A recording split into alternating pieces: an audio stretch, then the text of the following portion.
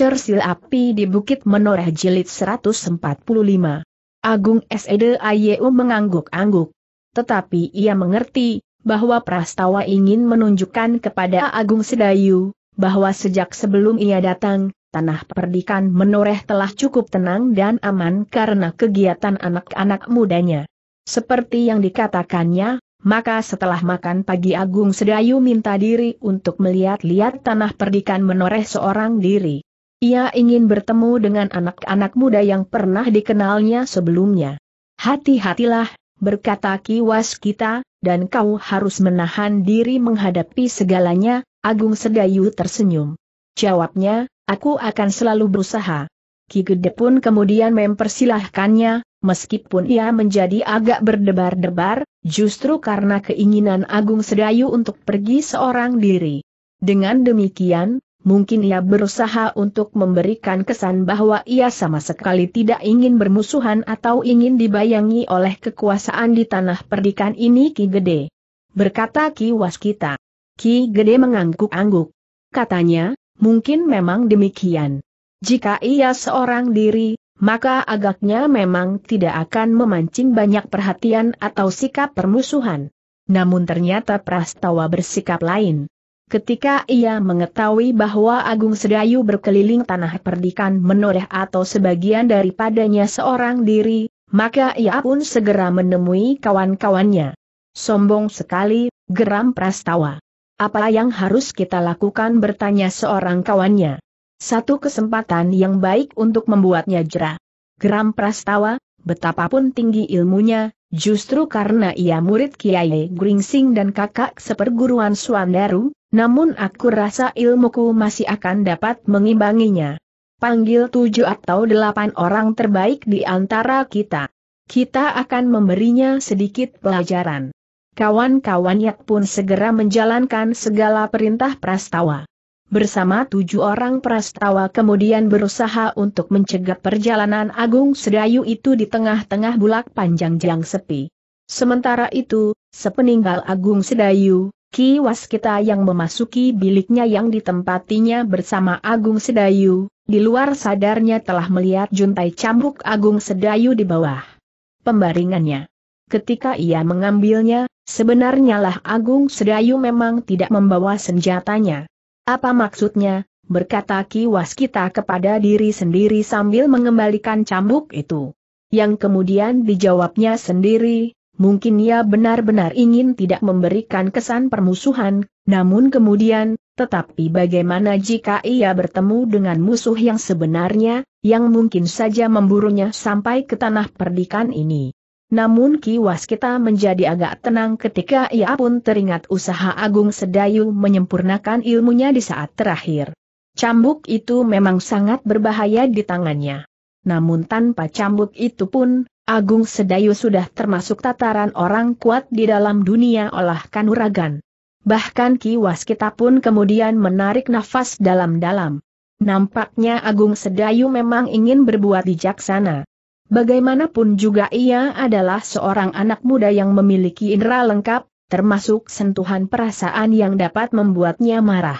Agaknya ia tidak ingin mengotori cambuknya apabila tingkah laku anak-anak muda di tanah perdikan menoreh ini sudah melampaui batas.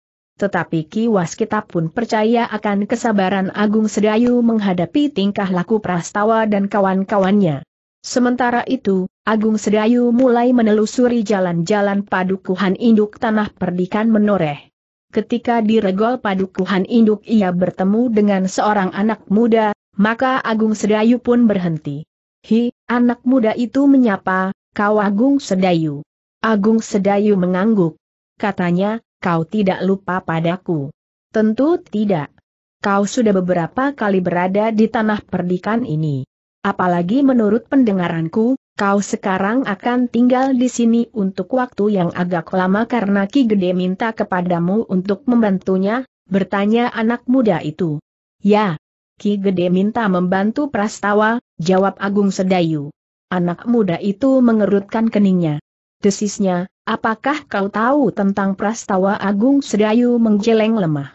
Namun jawabnya, ia adalah kemanakan Ki Gede. Tetapi ia telah salah langkah, jawab anak muda itu, Hi, Agung Sedayu, apakah kau masih melihat para pengawal tanah perdikan ini sesigap dahulu? Hanya tinggal beberapa orang saja yang masih tetap melakukan tugasnya sebagai pengawal yang langsung ditunjuk oleh Ki Gede. Namun dalam keadaan yang gawat, jumlah itu sama sekali tidak memadai, sementara anak mudanya bersikap acuh tidak acuh saja. Dan kau sendiri bertanya Agung Sedayu. Aku tidak termasuk sejumlah pengawal yang ditunjuk. Karena itu, aku lebih senang turun ke sawah untuk kepentingan keluargaku sendiri, jawab anak muda itu. Tetapi sawah pun nampaknya menjadi kering di musim kemarau, gumam Agung Sedayu. Ya, tidak ada orang yang bersedia bangkit untuk mengajak kita memperbaiki bendungan yang rusak itu, geram anak muda itu. Dan kau bertanya Agung Sedayu. Aku tidak berarti apa-apa di sini. Suaraku seperti gema yang memantul di lereng bukit. Mengaung sebentar, kemudian hilang di telan angin, Anak muda itu berhenti sejenak, lalu. Hi, kau mau ke mana Agung Sedayu? Berkeliling tanah perdikan ini, atau jarak yang sempat aku tempuh untuk pagi ini. Aku ingin bertemu dengan kawan-kawan yang pernah aku kenal dan mengenal aku. Tetapi anak-anak muda yang baru tumbuh itu banyak yang tidak aku kenal, jawab Agung Sedayu. Tetapi mereka mengenalmu. Anak-anak muda itu mengenal kau seperti mereka mengenal kawannya sendiri. Jawab anak muda itu, kecuali mereka yang terpengaruh oleh Prastawa. Ia tidak suka melihat kedatanganmu. Aku mendengar tentang hal itu. Aku pun tahu, jawab Agung Sedayu, tetapi aku ingin membuktikan kepadanya bahwa aku tidak ingin memusuhi siapa saja di tanah perdikan menoreh ini. Anak muda itu mengangguk-angguk katanya, mudah-mudahan kau berhasil. Kita akan bersama-sama membangunkan tanah perdikan yang mulai tertidur ini. Kau setuju bertanya Agung Sedayu tiba-tiba. Tentu. Aku setuju. Jika kau minta, aku akan bersedia untuk terbuat apa saja, jawab anak muda itu. Agung Sedayu tersenyum. Katanya, terima kasih. Marilah. Aku akan melanjutkan perjalanan keliling ini. Kau akan pergi ke sawah ya, jawab anak muda itu. Keduanya pun berpisah. Agung Sedayu mulai berjalan lewat bulak pendek di luar padukuhan induk. Ketika ia memasuki padukuhan kecil di sebelah padukuhan induk, maka ia pun bertemu dengan beberapa orang anak muda yang telah mengenalnya. Dan kesan yang didengarnya pun serupa dengan anak muda yang ditemuinya di padukuhan induk. Namun sering kali Agung Sedayu bertemu dengan sekelompok anak muda kawan-kawan Prastawa. Betapa telinga Agung Sedayu menjadi panas, tetapi ia harus menahan hati. Ia sama sekali tidak menanggapi sikap bermusuhan dari anak-anak muda itu.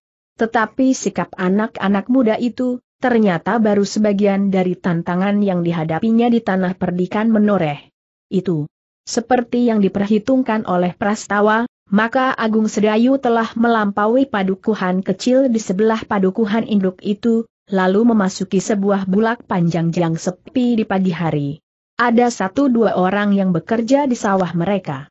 Namun nampaknya gairah bekerja pun telah menurun karena parit sudah tidak mengantar air melimpah seperti beberapa saat yang lampau, sehingga mereka terpaksa mengatur, giliran untuk mempergunakan air, namun kadang-kadang timbul juga pertengkaran tentang air itu pula. Demikian Agung Sedayu berjalan di bulak panjang itu, maka Prastawa yang telah menunggunya di tengah-tengah bulak, di sebuah pategalan beberapa langkah dari jalan bulak itu segera bersiap-siap. Anak itu lewat, desis seorang kawannya.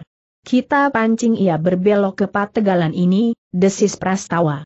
Kita akan mengajarinya sedikit sopan santun di sini, agar tidak dilihat orang, kawan-kawannya tertawa. Pergilah salah seorang ke tepi jalan bulak itu, perintah Prastawa, ajaklah ia singgah. Ia tidak akan menolak, justru karena kesombongannya. Ia merasa dirinya demikian penting di sini, sehingga setiap orang akan membutuhkannya dan menghormati kedatangannya. Sebenarnya lah salah seorang anak muda itu pun segera menuju ke pinggir jalan bulak yang dilalui oleh Agung Sedayu. Ia tidak perlu bersembunyi atau berpura-pura. Ia berdiri saja di pinggir jalan dengan tangan di pinggang. Agung Sedayu yang berjalan menelusuri bulak itu, untuk pergi ke padukuhan sebelah, melihat juga anak muda itu.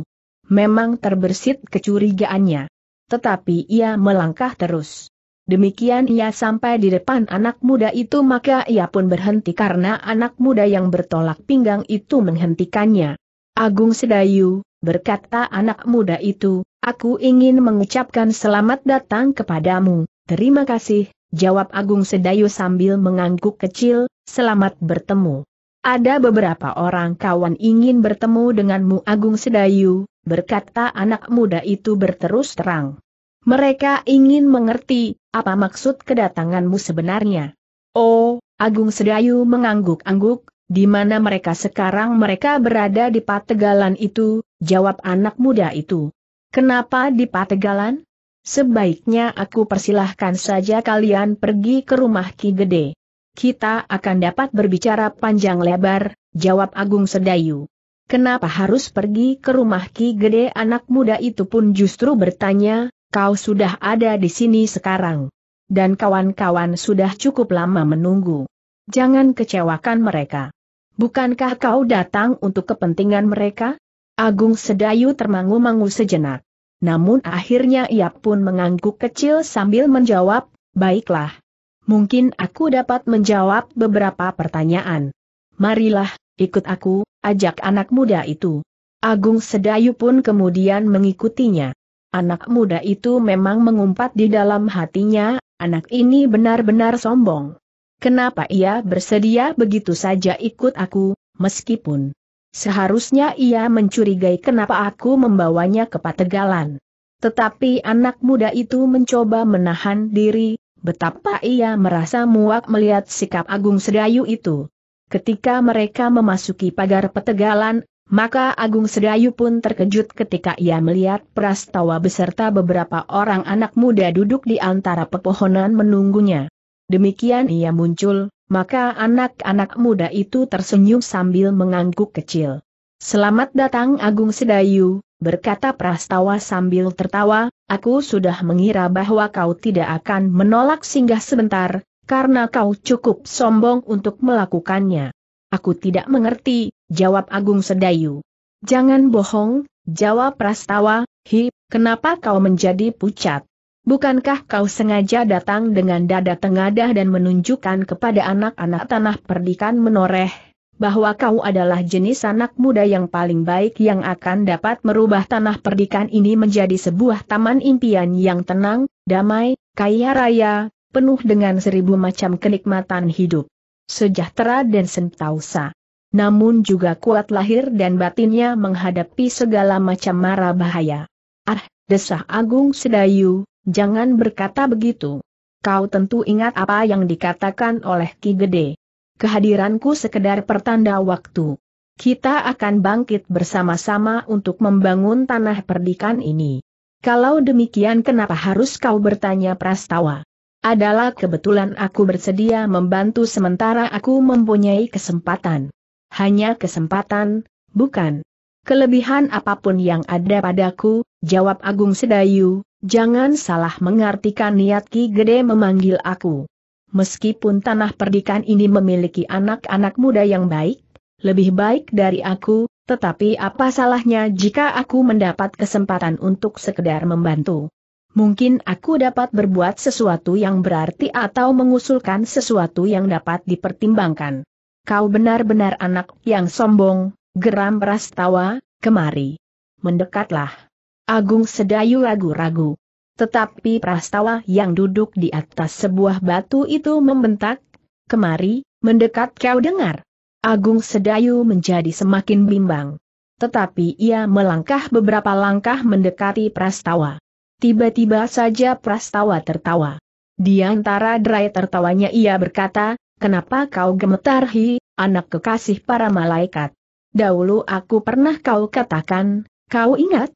Tetapi waktu itu aku adalah anak ingusan yang tidak tahu arti unsur gerak apa pun juga. Sekarang kau jangan bermimpi dapat mengalahkan murid Ki Gede Menoreh yang terpercaya. Karena itu, cepat, duduk di hadapanku. Duduk kau dengar. cepat.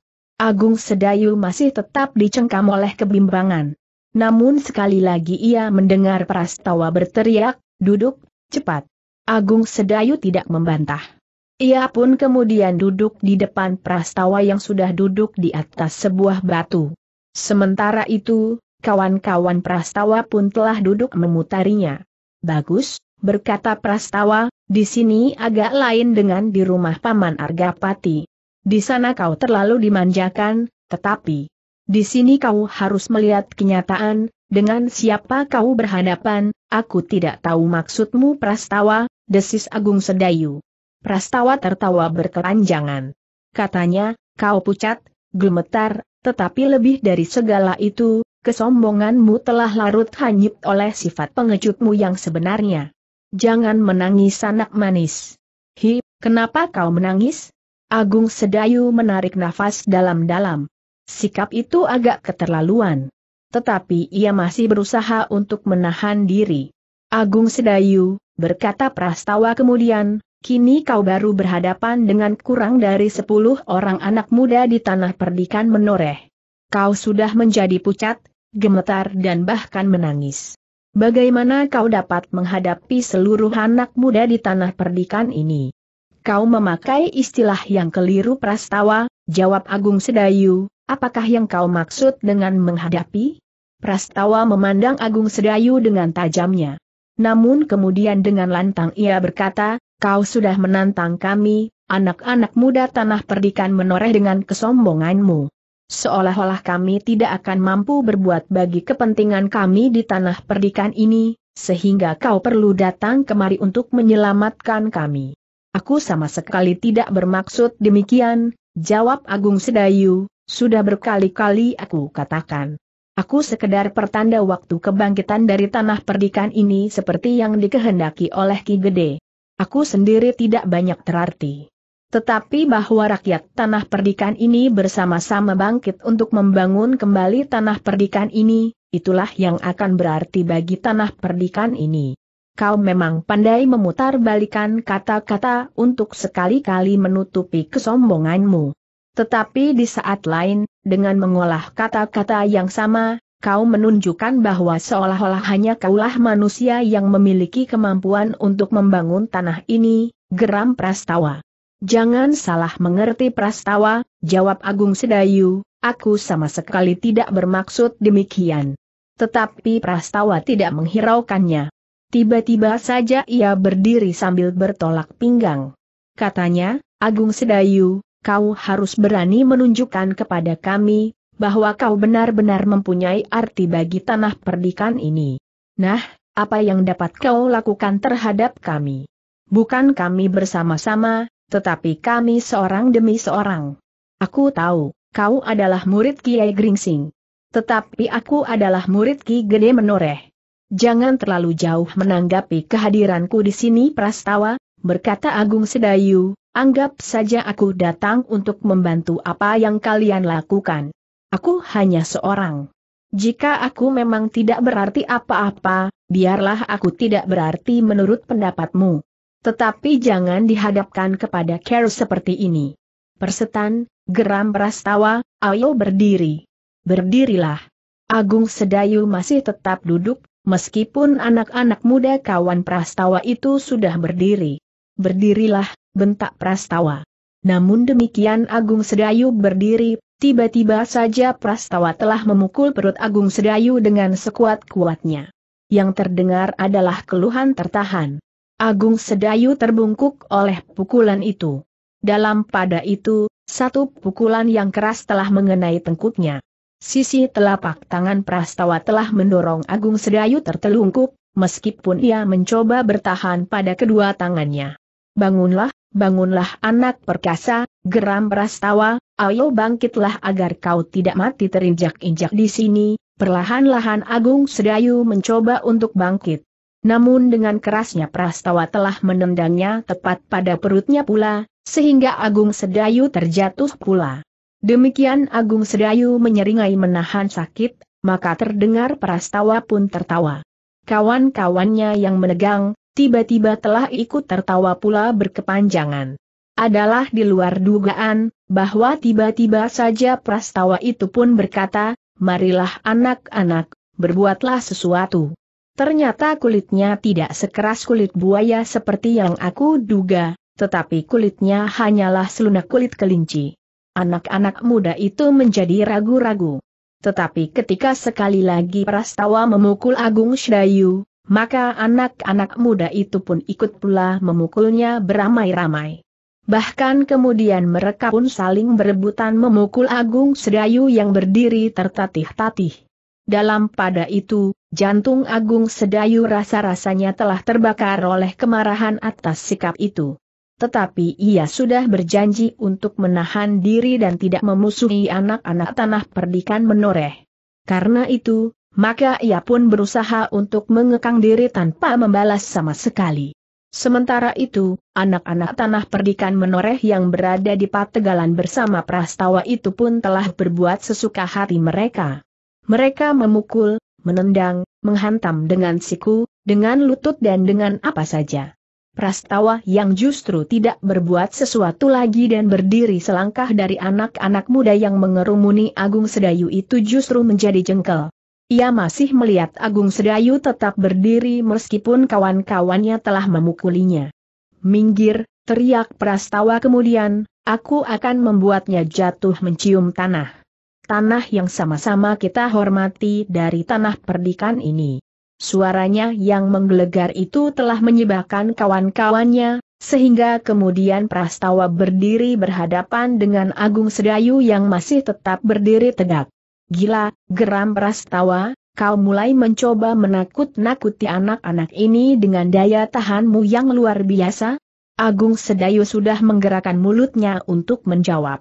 Tetapi Prastawa telah mendahuluinya. Sekali lagi ia menghantam perut Agung Sedayu. Tidak hanya dengan tangannya, tetapi dengan tumit kakinya. Agung Sedayu bergeser setapak surut tetapi ia masih tetap berdiri saja meskipun ia memegangi perutnya yang dihantam oleh kaki Prastawa. Melihat sikap Agung Sedayu, Prastawa menjadi semakin marah. Sekali lagi ia menghantam dengan kakinya, justru pada dada. Namun seperti semula, Agung Sedayu hanya bergeser saja setapak surut. Gila, geram Prastawa, kita harus menjatuhkannya. Kita harus membuatnya jatuh terbujur di tanah kita bersama-sama. Sekali lagi anak-anak muda itu berebutan menghantam Agung Sedayu dengan sekuat tenaganya, termasuk Prastawa sendiri. Tetapi Agung Sedayu masih tetap berdiri tegak. Bahkan kadang-kadang terdengar giginya gemeretak menahan kemarahan yang hampir tidak terkendali lagi. Namun demikian, ia masih tetap berusaha untuk tidak melawan dengan terang-terangan, meskipun sikapnya itu pun sudah cukup memberikan perlawanan. Justru kediamannya itu, tetapi ia tetap berdiri tegak dan tidak tergoyahkan. Karena sebenarnya lah, pukulan-pukulan itu tidak berarti apa-apa bagi kekebalan tubuh Agung Sedayu. Namun dengan demikian, Prastawa dan kawan-kawannya itu bagaikan menjadi gila. Mereka benar-benar kehilangan pengekangan diri mereka menghantam Agung Sedayu dengan segenap kekuatan mereka pada tubuh Agung Sedayu tanpa memilih. Dalam pada itu, barulah Agung Sedayu sadar, bahwa ia pun telah hanyut ke dalam arus perasaan mudanya. Seharusnya ia tidak bersikap demikian, sehingga membuat anak-anak itu bagaikan menjadi gila. Aku harus jatuh, berkata Agung Sedayu kepada diri sendiri, jika tidak, maka anak-anak ini akan benar-benar menjadi gila dan kehilangan pengamatan diri. Karena itu, untuk memberikan kepuasan kepada anak-anak itu, tiba-tiba saja kaki Agung Sedayu menjadi goyah. Perlahan-lahan ia menjadi gontai. Akhirnya Agung Sedayu itu pun jatuh pada lututnya. Rasakan, geram Prastawa sambil menghantam dagu Agung Sedayu sehingga wajahnya terangkat. Tetapi pada saat itu dihantamnya kening Agung Sedayu dengan sekuat tenaganya, sehingga wajah yang terangkat itu pun bagaikan diputar ke samping. Sehingga Agung Sedayu pun bagaikan terputar pula dan jatuh di tanah. Demikian Agung Sedayu terbujur di tanah, Prastawa menarik nafas dalam-dalam sambil berdiri bertolak pinggang. Nah, kau harus merasai, apa yang dapat kami lakukan atasmu. Agung Sedayu sama sekali tidak menjawab. Wajahnya tertelungkup dibayangi oleh kedua tangannya yang bersilang di dahinya. Agung Sedayu, Prastawa mengguncang tubuh itu dengan kakinya, kali ini kami hanya ingin memberikan sedikit peringatan. Ada dua kemungkinan yang dapat kau tempuh. Pergi dari tanah perdikan ini, atau tunduk kepada segala perintahku. Jika tidak, maka pada saat lain jika dapat berbuat lebih banyak lagi. Agung Sedayu tidak menjawab. Bahkan salah seorang dari anak muda itu berdesis, apakah ia mati? Tanda tanya. Jika ia mati, akan kami kuburkan di pategalan ini, geram yang lain. Tetapi anak-anak itu menjadi gelisah. Namun Prastawa dengan kasar telah membalikan tubuh Agung Sedayu dengan kakinya. Ia masih bernafas, geram Prastawa, marilah kita pergi. Jika sehari ini ia tidak datang ke rumah paman, maka ia mati di sini. Dan kita harus mengambil langkah-langkah, lalu katanya kepada Agung Sedayu, kau jangan mengadukan hal ini kepada paman, jika kau tidak ingin hal serupa ini terulang, jauh lebih parah bagimu sendiri. Prastawa tidak menghiraukannya lagi. Ia pun segera melangkah pergi. Diikuti oleh beberapa orang kawan-kawannya itu. Namun ternyata seorang di antara mereka telah datang kembali dengan tergesa-gesa sambil membawa air di tudung kepalanya. Untunglah bahwa Agung Sedayu masih terbaring di tanah. Ia merasa anak muda itu mengusap wajahnya dengan air yang segar. Bangunlah. Jangan mati, desis anak muda itu. Agung Sedayu membuka matanya. Ia melihat wajah anak muda itu. Nampaknya ia pun menjadi gembira melihat Agung Sedayu membuka matanya. Namun ia tidak menunggu terlalu lama. Ia pun segera bangkit dan pergi menyusul kawan-kawannya. Sepeninggal anak muda itu, Agung Sedayu masih berbaring beberapa saat. Bukan karena badannya menjadi sakit. Ia tidak merasakan apa pun juga, karena ia telah melindungi dirinya dengan ilmunya, bahkan pukulan-pukulan itu menggetarkan kulitnya pun tidak. Tetapi rasa-rasanya ia masih ingin merenungi tingkah laku anak-anak muda itu beberapa saat di tempatnya. Namun akhirnya ia pun bangkit. Dikibaskannya pakaiannya yang menjadi kotor. Ia tidak mau mengejutkan pemilik pategalan itu, jika tiba-tiba saja orang itu datang. Setelah membenahi dirinya, maka Agung Sedayu pun segera keluar dari pategalan itu, meneruskan langkahnya tetapi karena pakaiannya yang menjadi kotor, ia pun kemudian berbelok memintas jalan sempit di tengah bulak menuju kembali ke induk padukuhan di tanah perdikan menoreh. Ia masih bertemu beberapa orang anak-anak muda sebayanya yang masih mengenalnya. Seperti sebelumnya sebagian besar dari mereka menyambut kedatangan Agung Sedayu dengan senang hati. Kenapa pakaianmu bertanya seorang anak muda? Aku tergelincir di tepi parit di ujung galengan, jawab Agung Sedayu. Nampaknya kau jarang berjalan di jalan-jalan sempit di antara air dan lumpur, berkata anak muda itu sambil tertawa. Tidak. Disangkal putung, aku pun setiap hari bergulat dengan lumpur. Tetapi sekali-sekali aku pun tergelincir juga seperti sekarang ini, jawab Agung Sedayu. Anak muda itu tertawa. Lalu ia pun bertanya, sekarang kau akan ke mana kembali ke induk padukuhan, jawab Agung Sedayu. Oh, kau memang memilih jalan memintas ini? Baik. Biasakan berjalan di jalan-jalan sempit seperti ini. Sayang, parit-parit sebagian menjadi kering, sehingga kesempatanmu tergelincir menjadi lebih kecil, anak muda itu bergurau. Agung Sedayu pun tertawa. Katanya, terima kasih. Asal bukan dengan sengaja kasih ram aku dengan lumpur. Anak muda itu pun tertawa. Lalu katanya, kapan kita bertemu dan berbicara tentang diri kita? Maksudku, diri kami, anak-anak muda di tanah perdikan menoreh. Juga tentang pengawal tanah perdikan dan tentang parit-parit. Aku akan datang. Hi, bukankah gardu-gardu masih dapat dipergunakan bertanya Agung Sedayu? Gardu di sudut padukuhanku itu sudah rusak, jawab anak muda itu. Kenapa tidak kau perbaiki bertanya Agung Sedayu. Lain kali, aku akan memperbaikinya, jawab anak muda itu. Agung Sedayu pun meninggalkannya. Setiap kali ia sempat bertanya tentang gardu. Tentang bambu yang dapat diambil di setiap sudut pekarangan. Tali ijuk yang dapat dibeli di sembarang tempat. Apa sulitnya memperbaiki gardu? Agung Sedayu selalu bertanya kepada anak-anak muda itu tentang gardu. Ketika Agung Sedayu kemudian sampai di padukuhan induk, ia melihat sekelompok anak-anak muda kawan-kawan Prastawa itu menunggunya di depan regol rumah Ki Gede Menoreh. Ketika mereka melihat Agung Sedayu mendekat, maka mereka pun saling berbicara. Seorang di antara mereka masuk ke halaman untuk memberitahukan kehadiran Agung Sedayu itu kepada Prastawa. Anak itu tidak mati, geram Prastawa, aku pun sudah menjadi berdebar-debar. Jika ia mati, Paman tentu akan marah sekali.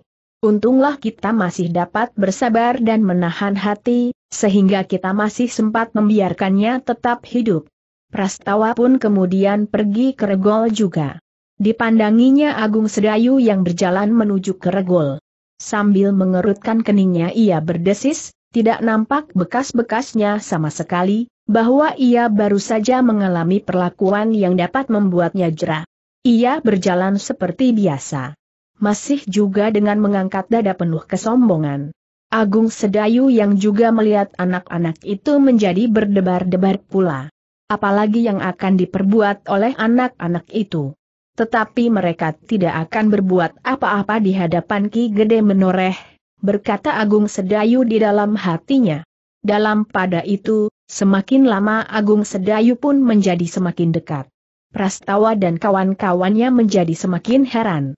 Sama sekali tidak nampak bekas-bekas peristiwa yang terjadi di Pategalan. Kening Agung Sedayu tidak menjadi biru kemerah-merahan, langkahnya, sikapnya, tidak menunjukkan sama sekali, bahwa ia baru saja mengalami perlakuan yang kasar. Anak iblis, geram Prastawa. Namun katanya kemudian, ia berhasil menahan kesakitannya. Dengan sombong ia berusaha untuk nampak tetap segar. Tetapi sebentar lagi ia akan menangis di biliknya. Kawan-kawannya hanya mengangguk-angguk saja. Sementara itu, Agung Sedayu telah sampai ke regol halaman. Prastawa yang berdiri di pintu regol menghentikan langkahnya. Sambil memandang Agung Sedayu dengan tajam Prastawa itu pun berkata, Hi, anak iblis.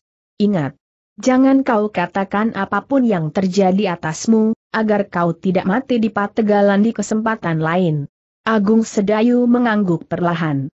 Namun sementara itu, Prastawa masih terheran-heran bahwa tidak ada bekasnya sama sekali pada tubuh Agung Sedayu tetap bersih. Hanya pakaiannya sajalah yang kotor. Apa yang akan kau katakan tentang pakaianmu yang kotor bertanya Prastawa kemudian. Apa saja? Tergelincir di pinggir parit barangkali, jawab Agung Sedayu. Paman tidak akan percaya. Cari alasan yang lebih baik, bentak Prastawa. Tolong, apa yang sebaiknya aku katakan kepada Ki Gede, bertanya Agung Sedayu. Gila, Prastawa menggeram, jika kau tidak berada di depan regol rumah paman, aku sobek mulutmu. Sudah tentu kaulah yang harus mencari alasan, bukan aku. Agung Sedayu menarik nafas dalam.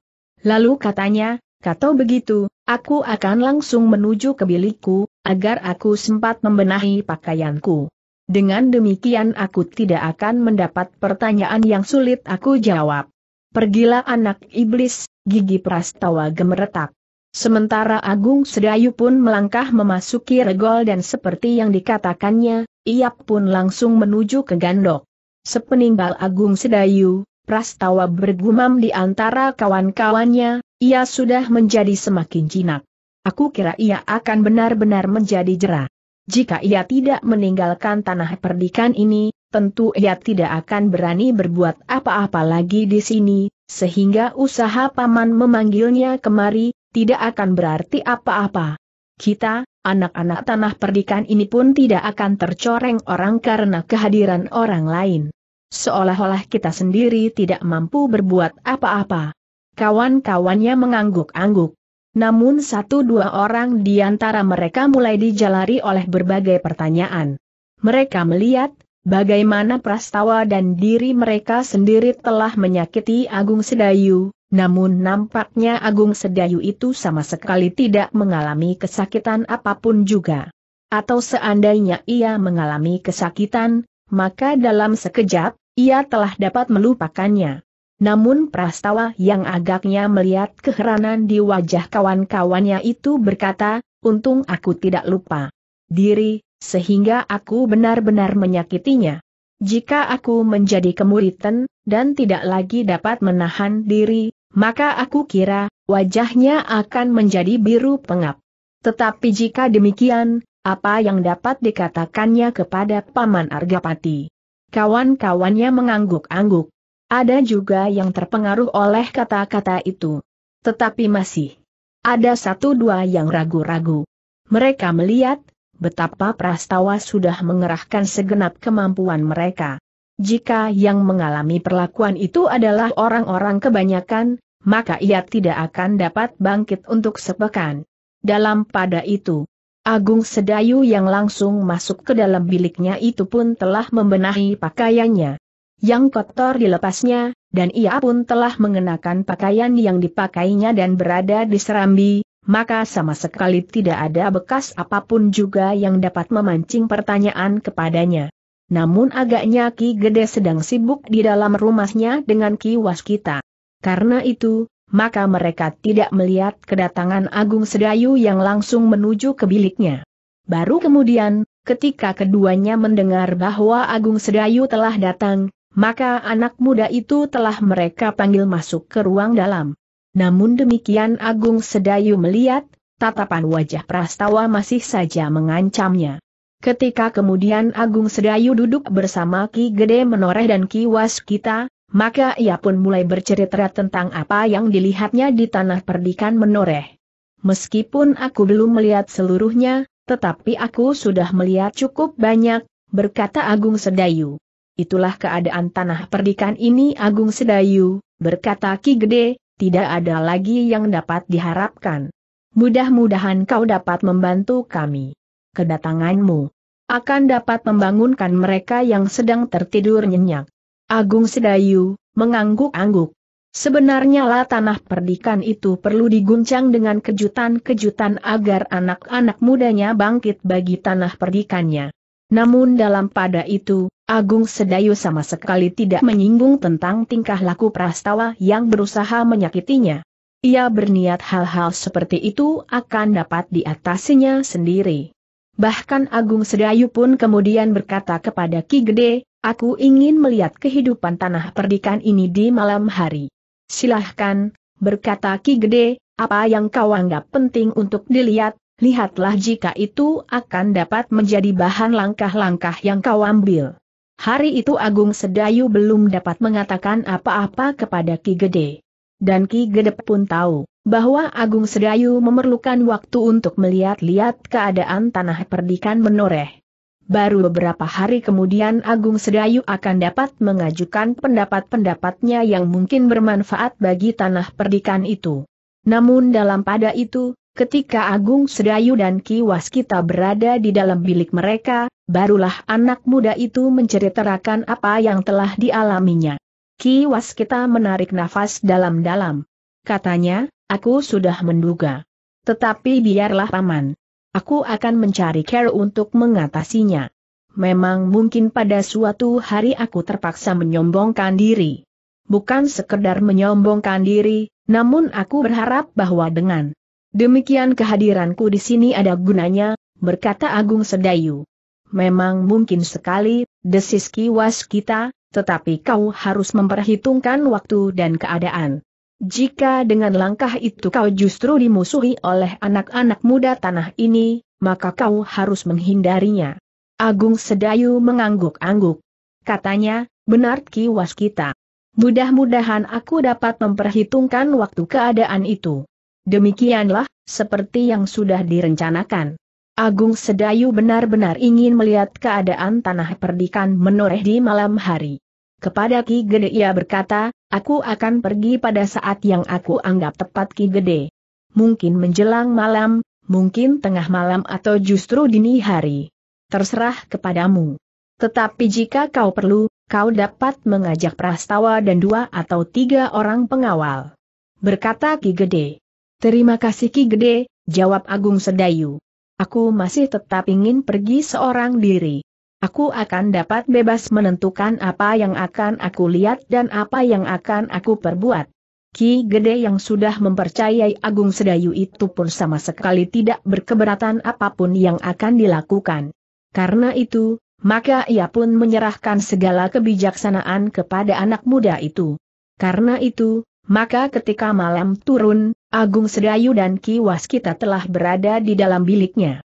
Agaknya Agung Sedayu mencoba menjelaskan rencananya kepada Ki Waskita untuk mulai menggelitik hati anak-anak muda di padukuhan-padukuhan. Aku akan memukul kentongan yang masih tersisa di gardu-gardu, berkata Agung Sedayu, mudah-mudahan suaranya akan menimbulkan pertanyaan, siapakah yang membunyikannya, akan memancing keinginan mereka untuk melihat, dan barangkali mengenang serba sedikit tentang gardu dan kentongan. Tetapi gardu-gardu itu sudah rusak. Tidak lagi ada kentongan di gardu-gardu yang rusak itu, berkata Ki Waskita. Jika demikian, aku akan membawa kentongan yang tergantung di serambi gandok itu. Meskipun kentongan itu kecil, tetapi suaranya cukup keras untuk membangunkan beberapa rumah di seputar gardu-gardu itu.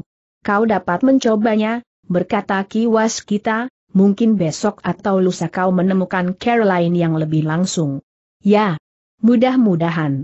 Tetapi aku masih harus selalu memperhitungkan sikap Prastawa. Karena itu, nanti aku akan keluar dari halaman ini tidak melalui regol depan, berkata Agung Sedayu. Melalui butulan bertanya Ki Waskita. Juga tidak. Mungkin Prastawa meletakkan orang-orangnya di semua jalan keluar, jawab Agung Sedayu, karena itu, aku akan meloncati dinding saja. Demikian pula jika aku nanti kembali. Ki Waskita menarik nafas dalam-dalam.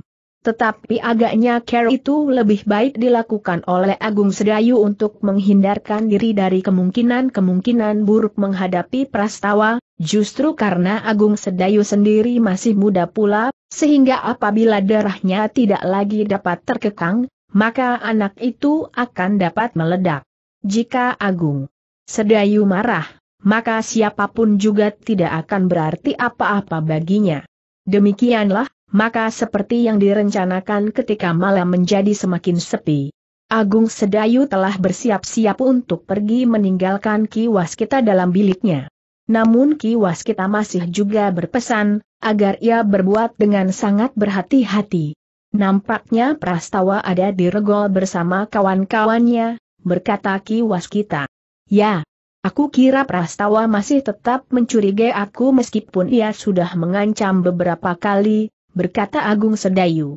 Karena itu, maka yang dilakukannya kemudian sama sekali tidak diketahui oleh Prastawa. Dengan hati-hati Agung Sedayu mengambil kentongan kecil di serambi. Kemudian membawa kentongan itu keluar dari halaman dengan meloncat dinding. Ketika Agung Sedayu sudah berada di luar dinding halaman rumah Ki Gede, maka ia pun menarik nafas dalam-dalam. Jalan sempit di sebelah rumah Ki Gede itu rasa-rasanya sepi sekali. Bahkan jalan yang lebih besar di depan rumah itu pun juga nampak sangat sepi. Agung Sedayu kemudian melangkah menyelusuri jalan kecil itu. Ia tidak akan berbuat apa-apa di padukuhan induk tanah perdikan menoreh itu agar tidak menarik perhatian Prastawa. Agaknya seperti malam sebelumnya, Prastawa dan kawan-kawannya yang berada di regol, akan membunyikan kentongan pula pada saat-saat tertentu menjelang tengah malam. Kemudian tepat di tengah malam, Prastawa akan membunyikan kentongan dengan irama darah muluk. Setelah lewat jalan sempit beberapa lama, maka Agung Sedayu pun sampai ke jalan induk. Ia mengerti, bahwa di regol. Padukuhan induk itu pun tidak ada orang yang berjaga-jaga. Karena itu, maka dengan tenang Agung Sedayu berjalan terus. Meskipun demikian, mendekati regol ia merasa perlu untuk berhati-hati. Seandainya secara kebetulan ada orang di gardu. Namun ternyata gardu di regol yang sudah hampir rusak itu pun sepi. Di luar regol padukuhan induk, Agung Sedayu berjalan semakin tenang. Seandainya ia bertemu dengan satu dua orang petani yang terpaksa pergi ke sawah untuk menyadap air yang menjadi semakin sulit, maka ia tentu akan dapat melihatnya lebih dahulu, sehingga ia akan sempat menghindar agar tidak seorang pun yang mengetahui bahwa ia berkeliaran di malam hari di tanah perdikan menoreh. Seperti yang direncanakan. Agung Sedayu pergi dari padukuhan yang satu ke padukuhan yang lain. Ternyata padukuhan-padukuhan itu benar-benar sepi. Anak-anak mudanya lebih senang tidur di rumah masing-masing. Tidak ada pengawal yang bertugas di gardu-gardu secara bergiliran. Apalagi yang meronda nganglang dari padukuhan yang satu ke padukuhan yang lain. Benar-benar satu kemunduran, desis Agung Sedayu. Namun agaknya Prastawa tidak mau mengerti. Pada dasarnya tanah yang subur, kebutuhan yang tercukupi, membuat tanah perdikan itu kurang berprihatin. Ketika Agung Sedayu sampai di sebuah padukuhan kecil dan menemukan gardunya yang sudah rusak, maka timbul niatnya untuk menarik perhatian beberapa orang penghuni padukuhan itu, terutama anak-anak mudanya. Mudah-mudahan suara kentongan akan dapat memberikan sedikitnya satu kenangan pada masa-masa lampau dari tanah perdikan ini, berkata Agung Sedayu kepada diri sendiri. Sejenak Agung Sedayu termangu-mangu. Namun akhirnya, Agung Sedayu telah memukul kentongan kecilnya. Meskipun kentongan itu memang sebuah kentongan kecil, namun suaranya cukup keras melengking di malam yang sepi. Sebenarnya lah seperti yang dimaksud oleh Agung Sedayu, suara kentongannya memang menarik perhatian. Meskipun tidak banyak, tetapi ada beberapa orang laki-laki dan anak-anak muda yang mendengar kentongan melengking di malam hari. Sudah lama mereka tidak mendengar suara kentongan. Karena itu suara kentongan itu rasa-rasanya bagaikan lagu lama yang sudah tidak pernah lagi didendangkan, tiba-tiba saja mereka telah mendengarnya dalam irama yang sudah mereka kenal dengan baik. Karena itu, maka suara kentongan itu mendapat perhatian yang khusus dari anak-anak muda di padukuhan itu. Meskipun mereka tidak langsung keluar dari rumah mereka, namun suara itu telah menggelitik hatinya untuk bertanya di antara mereka, siapakah yang telah memukul kentongan itu. Ternyata Agung Sedayu tidak hanya melakukan di satu tempat. Ia memukul kentongan di beberapa sudut padukuhan dan regol yang sepi di gardu-gardu yang rusak dan tidak lagi dipergunakan. Bahkan di simpang empat di dalam padukuhan-padukuhan kecil. Tetapi karena kentongan Agung Sedayu memang hanya sebuah kentongan kecil, maka suaranya tak terdengar sampai ke padukuhan induk. Sehingga karena itu, maka Prastawa dan kawan-kawannya sama sekali tidak mendengarnya. Malam itu, Agung Sedayu telah berhasil menggelitik hati anak-anak muda di beberapa padukuhan kecil. Ketika ia sudah merasa cukup, maka ia pun segera kembali ke padukuhan induk. Dengan cara yang sama seperti saat ia meninggalkan rumah Ki Gede, maka ia pun telah masuk kembali. Dengan hati-hati ia menggantungkan kentongan di tempatnya semula. Tanpa diketahui oleh Prastawa dan kawan-kawannya, Agung Sedayu telah masuk kembali ke dalam biliknya di Gandok. Ternyata Ki Waskita masih belum tidur. Justru dengan pendengarannya yang tajam, ia mendengar kedatangan Agung Sedayu mendekati pintu. Karena itulah, sebelum Agung Sedayu mengetuknya, Ki Waskita sudah membukanya. Dengan singkat Agung Sedayu menceritakan apa yang sudah dilakukannya. Meskipun Agung Sedayu sendiri tidak yakin, apakah ada gunanya. Namun sebenarnya lah, ketika Fajar menyingsing, dan padukuhan-padukuhan itu mulai bangun. Beberapa orang anak muda yang bertemu di pinggir jalan ketika mereka pergi ke sungai, saling bertanya yang satu dengan yang lain.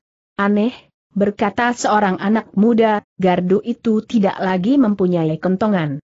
Tetapi ternyata ada dugaan yang justru bertentangan dengan maksud Agung Sedayu. Seorang anak muda bertubuh kurus berdesis, mungkin di padukuhan ini ada hantunya sekarang. Ah, sahut kawannya, ada hantu memukul kentongan? Kentongannya pun tidak ada. Hi, jika bukan hantu kentongan manakah yang berbunyi semalam? Kentongan di serambi rumahku suaranya tidak seperti itu. Yang aku dengar semalam adalah suara kentongan bambu yang tidak cukup besar. Ya, memang hanya kentongan kecil. Tetapi aku kira bukan hantu. Tetapi aku tidak dapat menyebutnya, siapa, jawab yang lain. Namun bagaimanapun juga, suara kentongan itu telah menjadi bahan pembicaraan beberapa orang anak muda di beberapa padukuhan yang sempat dikunjungi oleh Agung Sedayu semalam. Agaknya dengan demikian maka sebagian dari maksud Agung Sedayu sudah dapat terpenuhi. Dengan membicarakan suara kentonang, maka anak-anak muda itu pun mulai berbicara pula tentang gardu-gardu yang rusak. Dengar, tiba-tiba seorang anak muda berkata, kemarin aku bertemu dengan Agung Sedayu. Agung Sedayu, desis kawannya, maksudmu Agung Sedayu dari Jati Anom yang datang bersama Ki Gede. Ya, kemarin aku bertemu dengan anak muda itu di bulak sebelah. Pakaiannya kotor, karena menurut keterangannya ia tergelincir jatuh di ujung jalan sempit itu, jawab anak muda yang pertama. Bagaimana dengan Agung Sedayu bertanya kawannya. Entahlah, tetapi kenapa aku tiba-tiba saja menghubungkan suara kentongan dengan Agung Sedayu, ia kemarin bertanya kepadaku tentang gardu yang rusak. Bahkan ia menyebut-nyebut tentang rumpun-rumpun bambu yang banyak terdapat di padukuhan kita. Dan ia pun berbicara tentang tali ijuk yang sangat murah harganya. Apakah maksudnya agar kita memperbaiki gardu-gardu yang rusak itu bertanya kawannya? Mungkin, jawab yang pertama. Buat apa? Kita tidak memerlukannya lagi, sahut yang lain. Tetapi kawan-kawannya ternyata terpaksa merenungi kata-kata itu. Apakah benar bahwa mereka tidak memerlukan lagi? Meskipun anak-anak muda itu tidak mengambil kesimpulan, namun mereka mulai merenunginya. Mereka mulai mengingat-ingat, apa saja yang pernah terjadi pada saat-saat terakhir, setelah mereka menganggap bahwa gardu-gardu itu sama sekali tidak berarti lagi. Seperti daerah-daerah yang lain, maka tanah perdikan menoreh tidak bersih sama sekali dari kejahatan. Pencurian dan perampokan-perampokan kecil memang pernah terjadi. Sementara itu tidak ada lagi orang yang menghiraukannya. Hanya pada saat-saat tertentu, jika ada seseorang berteriak tentang pencuri di rumahnya, maka tetangga-tetangganya dengan malas keluar rumah dan berusaha untuk membantu menangkap pencuri itu. Tetapi biasanya pencuri itu bergerak lebih cepat, sehingga hampir tidak pernah ada seorang pencuri pun yang tertangkap. Namun anak-anak muda yang mulai merenung itu ternyata tidak hanya berbicara tentang gardu. Seorang anak muda yang bertemu dengan Agung Sedayu, meskipun hanya sekilas, telah mendengar beberapa pertanyaan Agung Sedayu tentang parit yang kering, jalan yang rusak dan segala kegiatan yang menurun. Meskipun demikian, anak-anak muda itu masih terbatas pada merenunginya. Bahkan ada satu dua yang tidak menghiraukannya lagi. Mereka merasa bahwa gardu hanya akan membuat mereka kedinginan di saat-saat mereka meronda, dan parit-parit yang kering akan merupakan panggilan bagi mereka untuk turun memperbaiki bendungan. Dalam pada itu, selagi beberapa orang anak-anak muda di beberapa padukuhan merenungi pendengaran mereka atas suara kentongan yang tidak mereka ketahui dengan pasti dari mana sumbernya itu, di rumah Ki Gede, para pemimpin tanah perdikan menoreh dan para pemimpin padukuhan telah berkumpul sebagaimana mereka lakukan setiap sepekan sekali.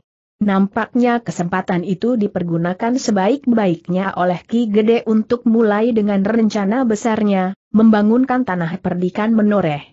Dengan memperkenalkan Agung Sedayu kepada mereka, maka Ki Gede berkata, aku mengajak Angger Agung Sedayu untuk membantu kita. Sebagian besar dari para pemimpin tanah perdikan itu sudah mengenal Agung Sedayu. Karena itu, maka mereka pun telah menyambut baik kedatangan anak muda itu di tanah perdikan menoreh. Namun dalam pada itu, wajah Prastawa masih saja garang bagi Agung Sedayu. Setiap kali Agung Sedayu sempat memandangi wajah itu, selagi ia berhadapan dengan para pemimpin tanah perdikan itu dan para pemimpin padukuhan, maka nampak betapa anak muda itu mengumpatinya di dalam hati. Prastawa menjadi semakin marah di dalam hati ketika ia mendengar pamannya berkata, pada hari-hari mendatang yang pendek, kami akan datang ke padukuhan-padukuhan untuk melihat langsung, apa yang perlu dibenahi. Kami menunggu dengan senang hati Ki Gede, jawab para pemimpin padukuhan itu. Sebenarnya lah, ketika pertemuan itu selesai dan para pemimpin padukuhan meninggalkan rumah Ki Gede menoreh, maka mulailah Ki Gede berbicara tentang rencana itu. Kau sudah melihat-lihat seorang diri Agung Sedayu. Berkata Ki Gede, namun yang kau lakukan baru sekedar melihat. Tetapi kita bersama akan mengunjungi setiap padukuhan. Kita akan berbicara dan kemudian membuat rencana-rencana tertentu bagi padukuhan-padukuhan itu. Bagus sekali Ki Gede, jawab Agung Sedayu, aku akan memanfaatkan segala kesempatan. Namun sekali lagi, bahwa kebangkitan tanah perdikan ini memang ternyata sekali atas usaha tanah perdikan. Ini sendiri. Kehadiranku hanya sekedar pertanda seperti yang Ki Gede maksudkan, Ki Gede tersenyum. Katanya, itu adalah kewajiban kami. Di saat kami menyadarinya, maka kami harus mengerjakannya. Aku berharap bahwa para pemimpin tanah perdikan ini akan melakukannya bersamaku. Di hari berikutnya Ki Gede sudah akan mulai dengan rencananya. Ia sudah menunjuk beberapa orang yang akan menyertainya bersama beberapa orang pengawal. Ketika para pemimpin tanah perdikan itu pulang ke rumah masing-masing, satu dua di antara mereka sempat berbicara di antara mereka, nampaknya gairah kerja Ki Gede telah timbul lagi. Anak muda itu dapat mengisi kekosongan hatinya, yang hampir saja memadamkan api di dadanya, sepeninggal anak gadisnya. Kawan-kawannya mengangguk-angguk.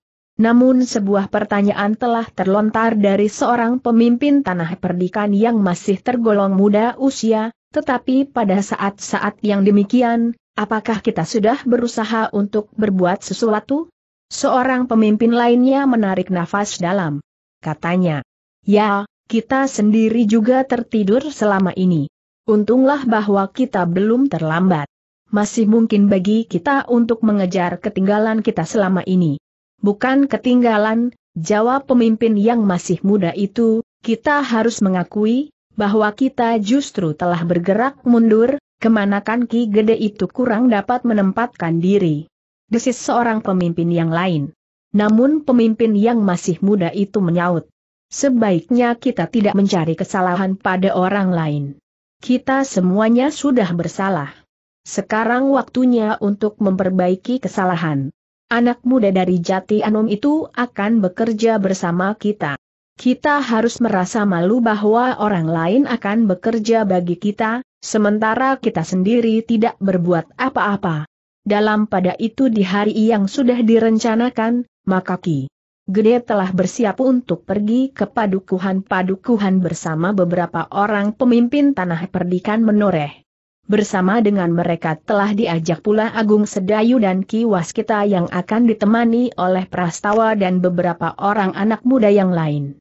Namun dalam pada itu, selagi iring-iringan itu sudah siap di halaman, Prastawa sempat mendekati Agung Sedayu sambil berdesis, kau yang mengajukan rencana ini?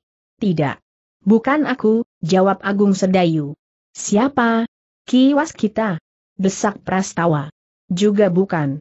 Ki Gede sendiri, jawab Agung Sedayu pula. Prastawa menggeretakkan giginya. Katanya, agaknya kau tidak lagi berani dengan sombong berkeliling tanah perdikan ini lagi seorang diri lalu kau membuat rencana terselubung, sehingga akhirnya Paman Argapati telah mengambil satu kesimpulan untuk melakukan perjalanan ini. Sama sekali tidak, desis Agung Sedayu. Prastawa memandang Agung Sedayu dengan tajamnya. Sorot matanya mengandung ancaman. Namun Agung Sedayu menghindari tatapan matu itu dan memandang ke arah yang lain. Aku memang harus bersabar, berkata Agung Sedayu di dalam hatinya. Tetapi ia tidak mau beradu pandang dengan Prastawa yang semakin lama memang terasa sangat menjengkelkan. Jika ia kehilangan kesabaran, maka sorot matanya akan dapat berbahaya bagi Prastawa. Dalam pada itu Prastawa tidak dapat bertanya lebih banyak lagi ketika Ki Gede menoreh telah hadir dan kemudian bersiap untuk berangkat.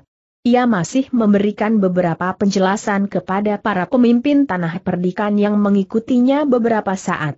Baru kemudian iring-iringan itu mulai bergerak.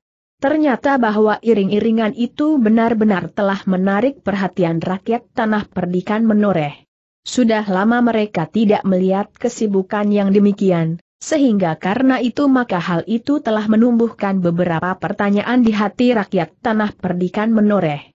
Namun dalam pada itu, di hati para pemimpin tanah perdikan yang mengikuti Ki Gede itu, telah timbul berbagai macam tanggapan terhadap keadaan di tanah perdikan mereka sendiri itu rasa-rasanya mereka baru melihat untuk pertama kalinya, keadaan yang sebenarnya terjadi di kampung halaman mereka sendiri, meskipun setiap hari ia berada di tempat itu. Setiap hari aku lewat jalan ini, berkata salah seorang pemimpin itu di dalam hatinya, tetapi baru kali ini aku tahu pasti, bahwa parit itu bukan saja kering, tetapi sudah rusak sama sekali. Seandainya bendungan diperbaiki, maka air tidak akan dapat mengalir lagi lewat parit ini. Ki Gede sendiri sebenarnya sudah cukup lama merasa prihatin. Tetapi setiap kali hatinya yang kosong telah menjebaknya sehingga ia menjadi tidak lagi bergairah untuk berbuat sesuatu. Namun kehadiran Agung Sedayu itu rasa-rasanya merupakan dorongan yang telah membuka hatinya pula. Perjalanan itu ternyata telah menimbulkan hentakan pada tanah perdikan yang lesu itu. Ki Gede membawa para pemimpin itu menjelajahi satu padukuhan ke padukuhan yang lain. Mereka berhenti beberapa saat di padukuhan-padukuhan itu, untuk berbicara dengan beberapa orang penghuninya. Sementara itu para pemimpin padukuhan yang memang sudah mengetahui bahwa Ki Gede akan berkeliling menjelajahi padukuhan demi padukuhan telah menyambut pula kedatangan iring-iringan itu. Tetapi ternyata iring-iringan itu tidak berhenti terlalu lama di setiap padukuhan yang mereka lewati di hari pertama itu. Ki Gede dan para pemimpin tanah perdikan itu telah berbicara langsung dengan beberapa orang penghuni yang sempat menemui mereka. Ki Gede telah menanyakan keluhan-keluhan yang akan mereka sampaikan. Katakan apa adanya, berkata Ki Gede. Namun sebagian besar dari mereka tidak dapat mengatakannya dengan jelas. Tetapi terbayang pada kata-kata mereka yang kadang-kadang tumpang suh itu bahwa mereka merasakan kelesuan dalam tatanan kehidupan mereka sehari-hari.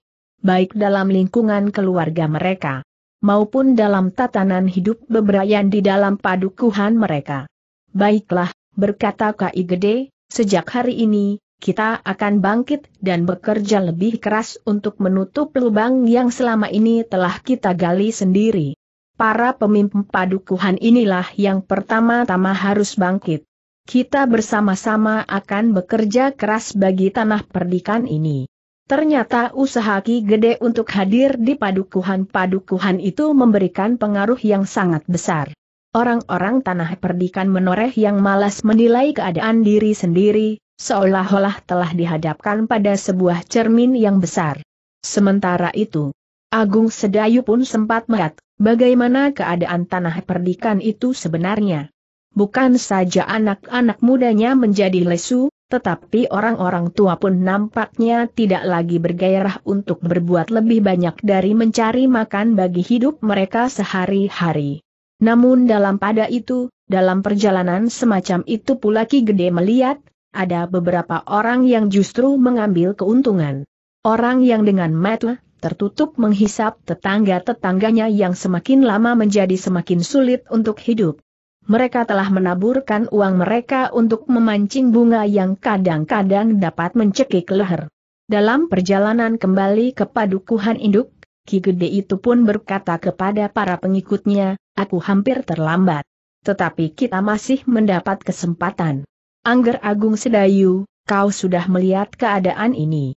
Terserah kepadamu, kepada Prastawa dan kepada anak-anak muda yang masih mempunyai gairah yang besar untuk membantu aku membangun tanah perdikan ini, bagaimana sebaiknya membangunkan anak-anak muda tanah perdikan ini yang sedang tertidur itu. Selama ini aku sudah berusaha, Paman, sahut Prastawa. Tetapi mereka memang malas sekali. Lebih dari itu, anak-anak muda di tanah perdikan ini, sudah dipengaruhi oleh kemalasan orang tua mereka, sehingga mereka sulit sekali untuk digerakkan. Meskipun demikian di antara anak-anak muda yang tidak lagi mau berbuat sesuatu, aku masih mempunyai kelompok anak-anak muda yang dengan gigih bekerja bagi tanah perdikan ini. Tanpa mereka, tanah perdikan ini benar-benar telah menjadi padang kehidupan yang sangat gersang. Bagus, jawab Ki Gede, kau dapat meneruskannya. Sekarang ada Agung Sedayu pula yang mungkin dapat mengemukakan pikiran-pikiran baru di samping yang kau lakukan itu. Wajah Prastawa menegang. Tetapi ia tidak berani menjawab kata-kata Ki Gede, sementara Ki Gede sama sekali tidak sempat berpaling untuk memperhatikan wajah kemenakannya yang berkuda di belakangnya. Bahkan Ki Gede itu pun berkata kepada para pemimpin yang bersamanya, sekarang jelas bagi kita. Aku minta kalian membantu apa yang akan dilakukan oleh Agung Sedayu dan kelanjutan kegiatan yang sudah dilakukan oleh Prastawa. Mudah-mudahan dalam waktu dekat, gairah untuk hidup itu mulai menjalar di tanah perdikan ini, meskipun aku tahu bahwa kita semuanya tidak dapat mengharap untuk memetik hasilnya dalam waktu yang terlalu dekat. Seorang pemimpin tanah perdikan yang masih muda itu pun menjawab, kami akan melakukannya Ki Gede. Kami seharusnya merasa malu bahwa semuanya itu telah terjadi di tanah perdikan ini. Kau bangun kesiangan kisanak, Sahut Prastawa, aku sudah melakukan segalanya tanpa putus barang sehari pun. Tetapi aku bekerja sendiri. Dan sekarang kau seolah-olah memikul tanggung jawab atas masa lampau yang suram itu dan tampil sebagai seorang pahlawan, pemimpin yang masih muda itu mengerutkan keningnya. Tetapi karena ia sadar bahwa yang menyahut itu adalah Prastawa, kemanakan Ki Gede, maka ia pun tidak menjawab. Tetapi yang menjawab Ki Gede menoreh sendiri, apa salahnya melihat kesalahan masa lampau Prastawa? Bukankah dengan demikian akan timbul niat yang kuat untuk tidak melakukan kesalahan serupa? Yang sudah bekerja keras, sebaiknya itu dilanjutkan. Tetapi yang merasa dirinya belum berbuat apa-apa, biarlah ia bangun meskipun kesiangan. Itu lebih baik daripada tidur sepanjang hari. Prastawa menjadi tegang tetapi ia masih menjelaskan. Maksudku, tidak semuanya kita tertidur nyenyak. Tidak semuanya harus merasa malu. Apalagi yang merasa telah bekerja keras selama ini meskipun tidak mendapat tanggapan apa pun dari para pemimpin. Di padukuhan-padukuhan. Bagus. Bagus, sahut Ki Gede, kau dapat melanjutkannya. Sementara kami yang bangun kesiangan akan membantumu mulai sekarang. Prastawa tidak menjawab lagi. Tetapi ia bergeser mendekat Agung Sedayu sambil bergumam nah, kau dapat tampil sekarang, seolah-olah kaulah yang telah berbuat paling baik di tanah perdikan ini. Agung Sedayu menarik nafas dalam-dalam. Ingat, kau pergi dari tanah perdikan ini, atau menurut segala petunjukku, desis Prastawa. Kita bekerja bersama-sama, sahut Agung Sedayu lirih. Aku sobek mulutmu. Kau hanya menjawab salah satu dari dua kemungkinan. Pergi dari tanah perdikan ini, atau menurut petunjukku, geram prastawa. Aku akan menurut petunjukmu, karena kau yang selalu berada di tanah perdikan ini, jawab Agung Sedayu. Bagus. Tetapi jika kau ingkar, kau akan menyesal, atau bahkan kau tidak akan mendapat kesempatan untuk menyesali perbuatanmu itu, desis Prastawa. Lalu, Dahulu aku memang kata berkelahi melawanmu, tetapi sekarang aku adalah murid Ki Gede Menoreh. Satu-satunya setelah Pandanwangi pergi. Ya, ya. Aku mengerti, jawab Agung Sedayu pula. Prastawa terdiam. Iring-iringan itu semakin lama menjadi semakin dekat dengan padukuhan induk. Namun dalam perjalanan kembali itu pun, Beberapa orang di padukuhan-padukuhan yang mereka lalui merasa tergugah pula hatinya. Nampaknya akan ada pembaharuan yang timbul di tanah perdikan yang sudah beberapa lama lesu itu. Namun dalam pada itu, Agung Sedayu menjadi gelisah. Prastawa benar-benar sangat menjengkelkan. Meskipun ia akan dapat saja tidak menghiraukannya, tetapi jika karena kehadirannya timbul kerusuhan dan perkelahian di antara anak-anak muda yang melihat dirinya, maka tentu bukan itulah yang dimaksud oleh Ki Gede. Tetapi Agung Sedayu kemudian menemukan cara yang barangkali dapat ditempuhnya. ia akan menempatkan diri dalam lingkungan anak-anak muda yang dipengaruhi oleh Prastawa. Ia akan menurut apa yang hendak dilakukan oleh Prastawa, karena dalam keadaan itu ia pun tentu ingin menunjukkan kerja bagi tanah perdikan menoreh. Dalam pada itu, meskipun Ki Gede Menoreh belum menyusun rencana terperinci untuk kerja yang besar bagi tanah perdikan menoreh, namun ia sudah memerintahkan setiap pemimpin padukuhan untuk berbuat sesuatu. Terutama, sebelum langkah-langkah yang nyata, para pemimpin padukuhan diwajibkan untuk menggugah hati rakyat tanah perdikan menore agar mereka bersiap-siap menghadapi kerja yang berat. Kita sudah cukup lama beristirahat, berkata Ki Gede, marilah kita sekarang bangun dan bekerja kembali. Dalam gejolak yang mulai terasa di seluruh tanah perdikan menoreh itu, Prastawa pun ternyata tidak mau ketinggalan. Meskipun ia mempunyai caranya tersendiri, tetapi ia pun ingin tetap menjadi anak muda terpenting di tanah perdikan menoreh. Seperti yang direncanakan. Agung Sedayu dengan sengaja telah berada di dalam kelompoknya.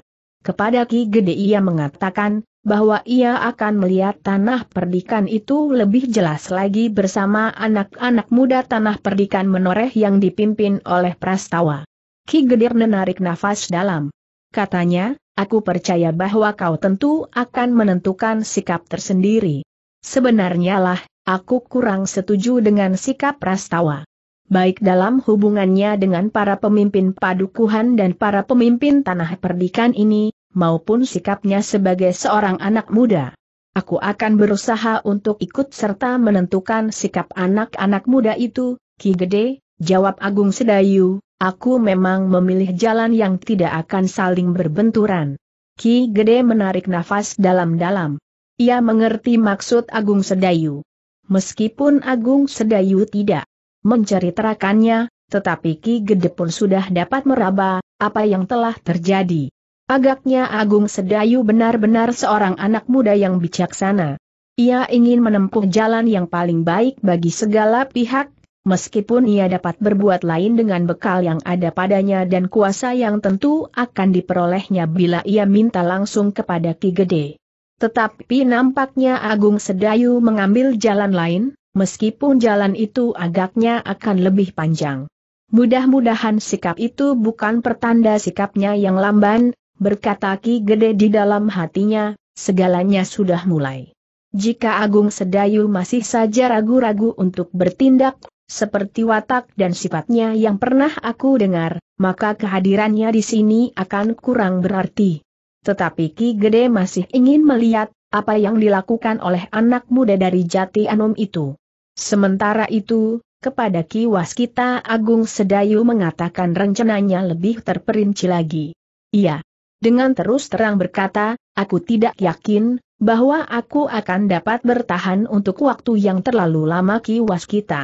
Pada suatu saat, aku harus menunjukkan kepada anak itu, bahwa kelakuannya sudah sangat memuakan. Tetapi apa kata Ki Gede jika karena kehadiranku telah terjadi pertengkaran? Justru dengan kemanakan Ki Gede itu sendiri, Meskipun Ki Gede telah mengatakan kepadaku, bahwa ia tidak dapat membiarkan tingkah laku kemanakannya itu berkepanjangan. Kau harus mempertimbangkan kata-kata Ki Gede itu nger. Mungkin Ki Gede justru ingin kau mengimbangi tingkah lakunya dengan caramu. Bukan justru ikut dalam arus tingkah lakunya, berkata Ki Waskita. Aku memang akan berbuat demikian Ki Waskita, tetapi aku akan melakukannya dari dalam tidak dari luar dan langsung berhadapan beradu dada, berkata Agung Sedayu. Kiwas kita mengangguk-angguk. Ia mengenal Agung Sedayu dengan baik sehingga ia pun sebenarnya harus sudah mengetahui, bahwa sikap itulah yang akan diambil oleh Agung Sedayu. Sementara itu, Agung Sedayu harus mulai dengan rencananya ketika Prastawa datang kepadanya dan berkata, Ikut aku sekarang. Agung Sedayu mengerutkan keningnya. Tetapi ia pun bertanya, ke mana? Jangan banyak bertanya, berkata Prastawa, tanah ini sedang bekerja keras. Apakah kau datang kemari sekedar untuk tidur di gandok? Tentu tidak, jawab Agung Sedayu. Nah ikut aku sekarang, berkata Prastawa pula. Baik. Aku akan berkemas, sahut Agung Sedayu. Sambil berbenah diri, Agung Sedayu pun minta diri kepada Ki Waskita untuk mengikuti Prastawa. Ia belum tahu, ke mana dan untuk apa. Sejenak kemudian, Prastawa dan tujuh orang kawannya telah meninggalkan padukuhan induk bersama Agung Sedayu. Mereka pergi ke padukuhan kecil di seberang bulak panjang. Ternyata di pintu gerbang padukuhan kecil itu telah terdapat beberapa anak muda yang telah bersiap-siap untuk melakukan sesuatu. Mereka membawa beberapa jenis salat untuk satu kerja. Kita akan memperbaiki bendungan, berkata Prastawa. Di sebelah padukuhan itu ada sebuah sungai kecil yang semula memberikan air bagi beberapa petak sawah. Tetapi bendungan itu sudah rusak. Kita akan memperbaikinya sekarang. Ya, jawab Prastawa. Kenapa tidak dimulai sejak matahari terbit di pagi hari? Udaranya tentu masih segar dan kerja yang dihasilkan untuk satu hari akan nampak. Jika kita mulai dengan kerja yang besar lewat tengah hari begini, maka demikian kita mulai berkeringat, matahari sudah condong dan sebentar lagi tenggelam, jawab Agung Sedayu. Pemalas, geram Prastawa, kita akan bekerja kapan saja tanpa mengingat waktu. Kita harus bekerja keras bagi tanah perdikan ini. Aku tahu, kau bukan anak muda tanah perdikan ini, sehingga kau merasa segan untuk bekerja keras.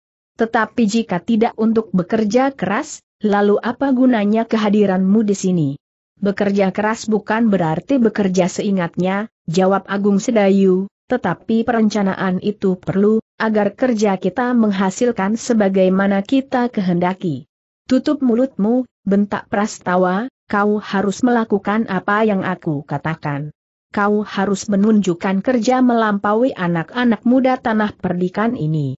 Agung Sedayu menarik nafas panjang. Ia tidak ingin menjawab lagi agar tidak terjadi perselisihan. Ia akan melakukan apa saja yang dikehendaki oleh Prastawa. Ketika mereka sampai di pintu gebang, maka Prastawa yang berada di paling depan itu pun berhenti di hadapan anak-anak muda yang sudah siap. Apakah kita dapat mulai bertanya Prastawa kepada anak-anak muda itu?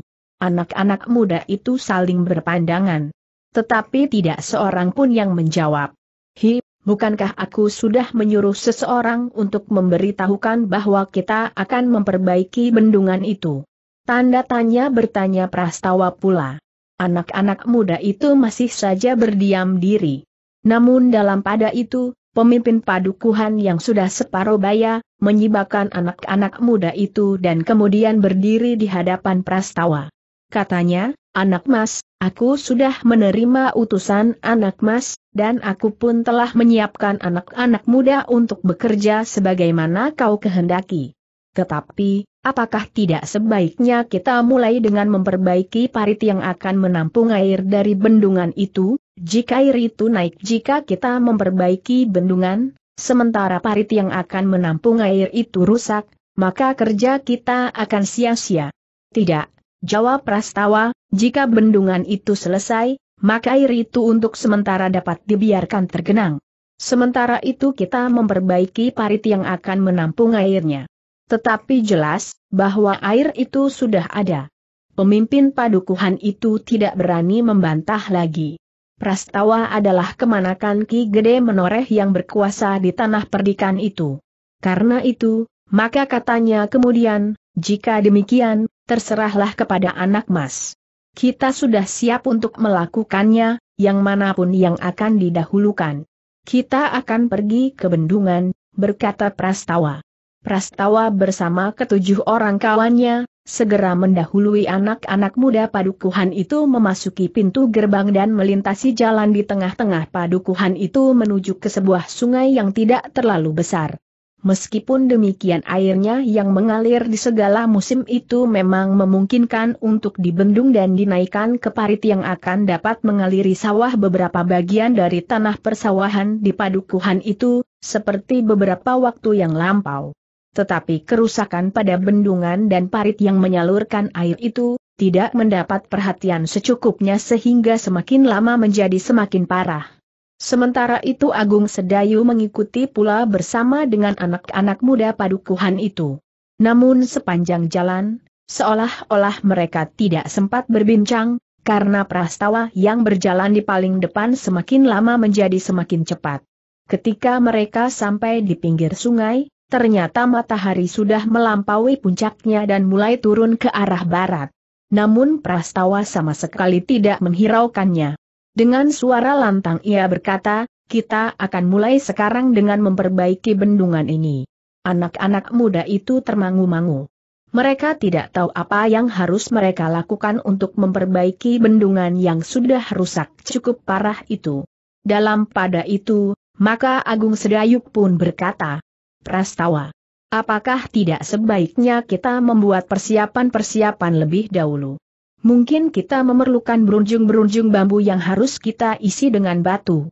Mungkin juga selangkrah untuk menempatkan sela-sela berunjung itu baru kemudian kita akan menimbuninya dengan tanah dan pasir. Bodoh sekali, geram Prastawa, kau memang bodoh sekali. Jika kehadiranmu hanya untuk memamerkan kebodohanmu saja, maka sebaiknya kau pergi. Kau hanya memperbanyak jumlah penduduk tanpa dapat berbuat apa-apa. Kau lihat, hanya kau yang tidak tahu apa yang harus dilakukan, Sementara anak-anak muda tanah perdikan menoreh sudah siap untuk bekerja. Agung Sedayu mengerutkan keningnya. Dilihatnya anak-anak muda yang lain pun masih kebingungan. Mereka memegang cangkul, parang dan linggis di tangan. Tetapi apa yang pertama-tama akan mereka lakukan tidak diketahuinya. Cepat, teriak Prastawa, kita memperbaiki bendungan itu, pemimpin padukuhan itulah yang kemudian bertanya. Yang mana yang harus kita lakukan dahulu Prastawa menjadi bingung. Namun kemudian katanya, Paman telah memanggil anak dungu itu kemari. Hi, katakan, apa yang harus kita lakukan sekarang? Supaya ada gunanya kau di tanah perdikan ini, maka katakan, apa yang harus kita lakukan untuk memperbaiki bendungan ini. Agung Sedayu menarik nafas dalam-dalam. Namun katanya kemudian, jika kau menyerahkannya kepadaku, biarlah aku mulai dengan mempersiapkan kelengkapan dari sebuah bendungan. Kita akan mencari bambu dan membuat berunjung. Kemudian berunjung itu akan kita isi dengan batu. Dengan berunjung dan selang kerah yang dapat kita cari dengan mudah, termasuk daun bambu yang kita tebang, maka kita akan membangun bendungan ini. Kau hanya akan menghindari kerja keras di bendungan ini, geram Prastawa. Kita tidak akan dapat berbuat apa-apa sekarang, jawab Agung Sedayu. Dalam pada itu, pemimpin padukuhan itu pun berkata, aku sependapat dengan Angger Agung Sedayu. Kita sekarang mencari bambu. Besok kita membuat berunjung dan baru kemudian kita memperbaiki bendungan dengan berunjung-berunjung setelah kita isi dengan batu yang dapat kita cari di sungai ini pula. Wajah Prastawa menjadi merah. Namun kemudian katanya, terserah kepada kalian.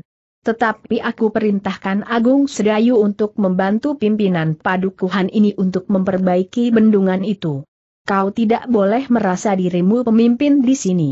Agung Sedayu menarik nafas dalam-dalam. Namun kemudian ia mengangguk sambil menjawab, aku akan melakukannya. Prastawa memandangi anak-anak muda yang kebingungan di bendungan. Sejenak ia pun menjadi kebingungan. Namun kemudian ia membentak, cepat. Lakukan sesuatu. Kita tidak dapat lagi bermalas-malas sekarang ini. Paman Argapati telah memutuskan, kita akan bekerja keras untuk kepentingan tanah perdikan ini. Baiklah, jawab Agung Sedayu.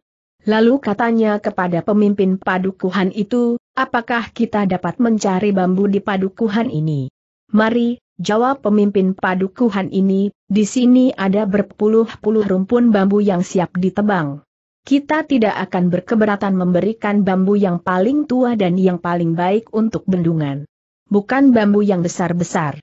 Justru bambu apus, desis Agung Sedayu. Seberapapun yang diperlukan, dapat diambil di kebun-kebun di padukuhan ini, jawab pemimpin padukuhan. Karena itu, maka Agung Sedayu pun berkata, marilah, kita akan mengumpulkan beberapa puluh bambu untuk berunjung-berunjung. Kau tidak hanya berbicara, bentak Prastawa, kau pun harus pergi menebang bambu itu. Agung Sedayu menarik nafas dalam-dalam. Namun sekali lagi ia mengangguk dan menjawab, aku juga akan ikut menebang bambu. Demikianlah maka anak-anak muda itu telah meninggalkan bendungan kembali ke padukuhan. Sementara itu, Prastawa dan ketujuh orang kawannya mengikutinya di belakang. Tetapi mereka tidak ikut bekerja seperti Agung Sedayu yang bersama-sama dengan anak-anak muda padukuhan itu menebang bambu. Ternyata dalam waktu singkat, anak-anak muda itu telah mendapatkan bambu cukup banyak. Mereka pun kemudian membawa bambu-bambu itu ke bendungan. Besok kita akan membuat menjadi berunjung-berunjung, berkata Agung Sedayu kepada anak muda itu. Ya, besok kita mulai pagi-pagi sekali, sahut pemimpin padepokan, hari ini kita mulai terlampau siang. Angger Prastawa memberikan perintah menjelang tengah hari, sehingga baru setelah matahari turun, kita dapat mulai dengan kerja ini. Agung Sedayu mengangguk-angguk. Ketika ia memandang ke tanggul di pinggir sungai itu, ia melihat Prastawa dan kawan-kawannya berdiri memandangi mereka yang berada di bawah. Besok kita mulai membuat berunjung, berkata Agung Sedayu kepada Prastawa. Kita siapa bertanya Prastawa. Agung Sedayu termangu-mangu.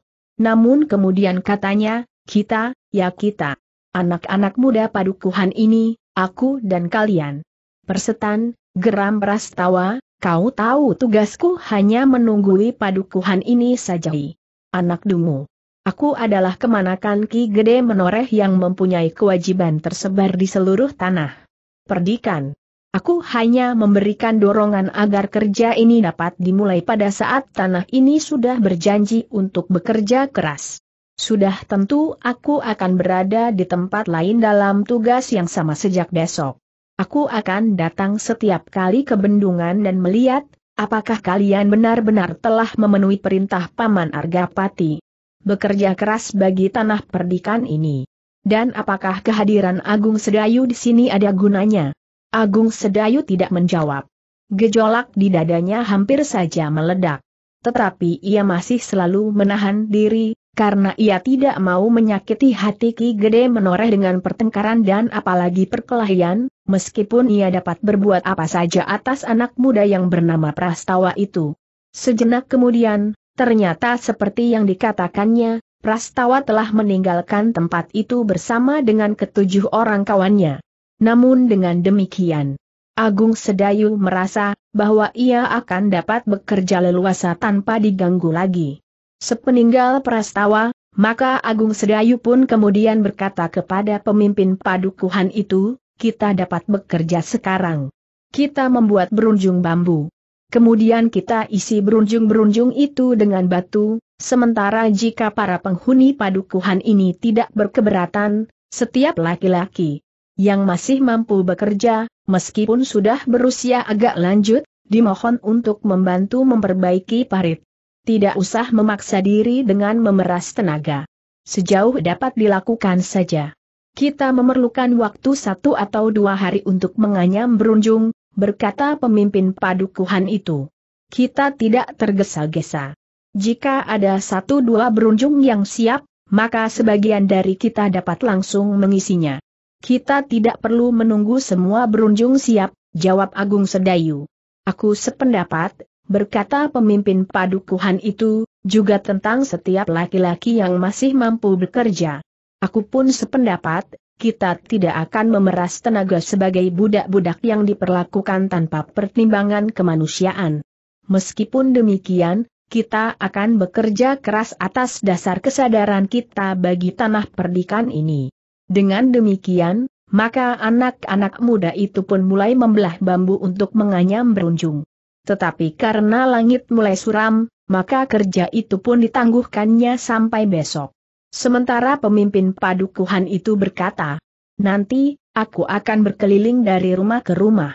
Besok setiap laki-laki akan keluar dengan kerja masing-masing, sesuai dengan kemampuan tenaga yang ada. Perempuan pun akan mempunyai kewajiban menyiapkan minum dan merebus jagung dan ketela pohon. Malam itu, Agung Sedayu hanya berada di rumah Ki Gede sebentar saja untuk memberitahukan kerjanya kepada Ki Waskita. Setelah makan dan beristirahat sebentar, maka ia pun telah meninggalkan halaman itu di luar pengetahuan Prastawa, kembali ke padukuhan kecil yang sedang membangun bendungan itu. Ternyata kehadiran Agung Sedayu telah memancing beberapa orang anak muda untuk berkumpul. Karena gardu sudah rusak, maka mereka berkumpul di rumah pemimpin padukuhan itu. Meskipun malam itu Agung Sedayu hanya bercerita saja tentang bermacam-macam pengalamannya, namun ternyata ia sudah berhasil mengikat hati beberapa orang anak muda yang berada di rumah pemimpin padukuhan itu. Ternyata Agung Sedayu berhasil memanfaatkan keadaan itu sebaik-baiknya. Ia berhasil menggelitik hati anak-anak muda untuk bekerja keras di hari-hari berikutnya sesuai dengan keinginan Ki Gede untuk memulihkan keadaan tanah perdikan yang mundur itu. Bahkan apabila mungkin untuk memacunya lebih cepat untuk maju. Besok kita akan mulai dengan mengisi berunjung-berunjung. Berkata Agung Sedayu, sementara orang-orang yang sudah tidak dapat bekerja berat, akan memperbaiki parit-parit yang sudah rusak, longsor dan bahkan hampir tidak berbekas lagi. Kita sudah siap, jawab anak-anak muda itu. Bagus, berkata Agung Sedayu, sementara bendungan itu dibangun maka kita dapat membangun segi lain dari kegiatan padukuhan ini. Apa, jawab anak-anak muda itu hampir bersamaan. Gardu-gardu. Bukan hanya sekedar gardunya, tetapi juga kegiatan untuk menjaga padukuhan ini dari gangguan kejahatan, jawab Agung Sedayu. Kami sependapat, desis beberapa orang anak muda. Bahkan pemimpin padukuhan itu pun berkata, jika kalian benar-benar ingin melakukannya, tentu bagus sekali. Besok di samping kita yang membangun bendungan, empat orang akan melakukan pekerjaan yang lain memperbaiki gardu dengan bambu-bambu yang dapat kita ambil seperti kita mengambilnya untuk memperbaiki bendungan. Aku masih mempunyai beberapa gulung tali ijuk sisa ketika aku memperbaiki dapur. Kalian dapat mempergunakannya. Kita akan memesan kentongan dari pangkal pohon kelapa dari Kisenu di sudut padukuhan ini, yang kelak akan kita pasang di gardu. Anak-anak muda itu pun sependapat. Agaknya mereka telah menemukan gairah untuk berbuat sesuatu bagi padukuhannya. Gairah dan kemauan yang sudah mulai tumbuh di hati kita masing-masing harus kita pelihara sebaik-baiknya agar tidak mati lagi. Besok atau pada saat lain jika Prastawa datang melihat hasil kerja kita, ia tidak akan kecewa, berkata Agung Sedayu. Anak itu sebenarnya tidak berarti apa-apa bagi kami. Desis seorang anak muda berambut keriting, kami menghormatinya karena ia kemanakan Ki Gede. Kawan-kawannya memandanginya dengan tatapan mata yang gelisah. Agaknya mereka menjadi berdebar-debar mendengar kata-kata itu. Sementara pemimpin padukuhan itu hanya menundukkan kepalanya saja. Tetapi anak muda berambut keriting itu justru melanjutkan. Coba lihat, betapa sombongnya ia bersikap terhadap Agung Sedayu. Seolah-olah ia adalah Ki Gede sendiri. Bukankah kedatangan Agung Sedayu ini atas undangan Ki Gede seperti yang dikatakannya dalam pertemuan para pemimpin tanah perdikan ini dan para pemimpin padukuhan? Di luar sadarnya pemimpin padukuhan itu mengangguk. Namun Agung Sedayulah yang menyahut, aku tidak berkeberatan atas sikapnya. Mungkin di luar sadarnya ia bersikap demikian, sehingga kesannya seolah-olah ia adalah anak muda yang sombong. Tetapi kewajiban kita adalah menunjukkan, bukan saja kepada Prastawa, tetapi juga kepada Ki Gede, bahwa kita mampu melakukan sesuatu bagi padukuhan ini. Demikianlah, Agung Sedayu berada di padukuhan itu sampai larut malam. Baru kemudian, setelah tengah malam lama berlalu, Agung Sedayu pun minta diri kita masih perlu beristirahat barang sebentar. Besok kita masih akan bekerja keras, berkata Agung Sedayu sambil minta diri.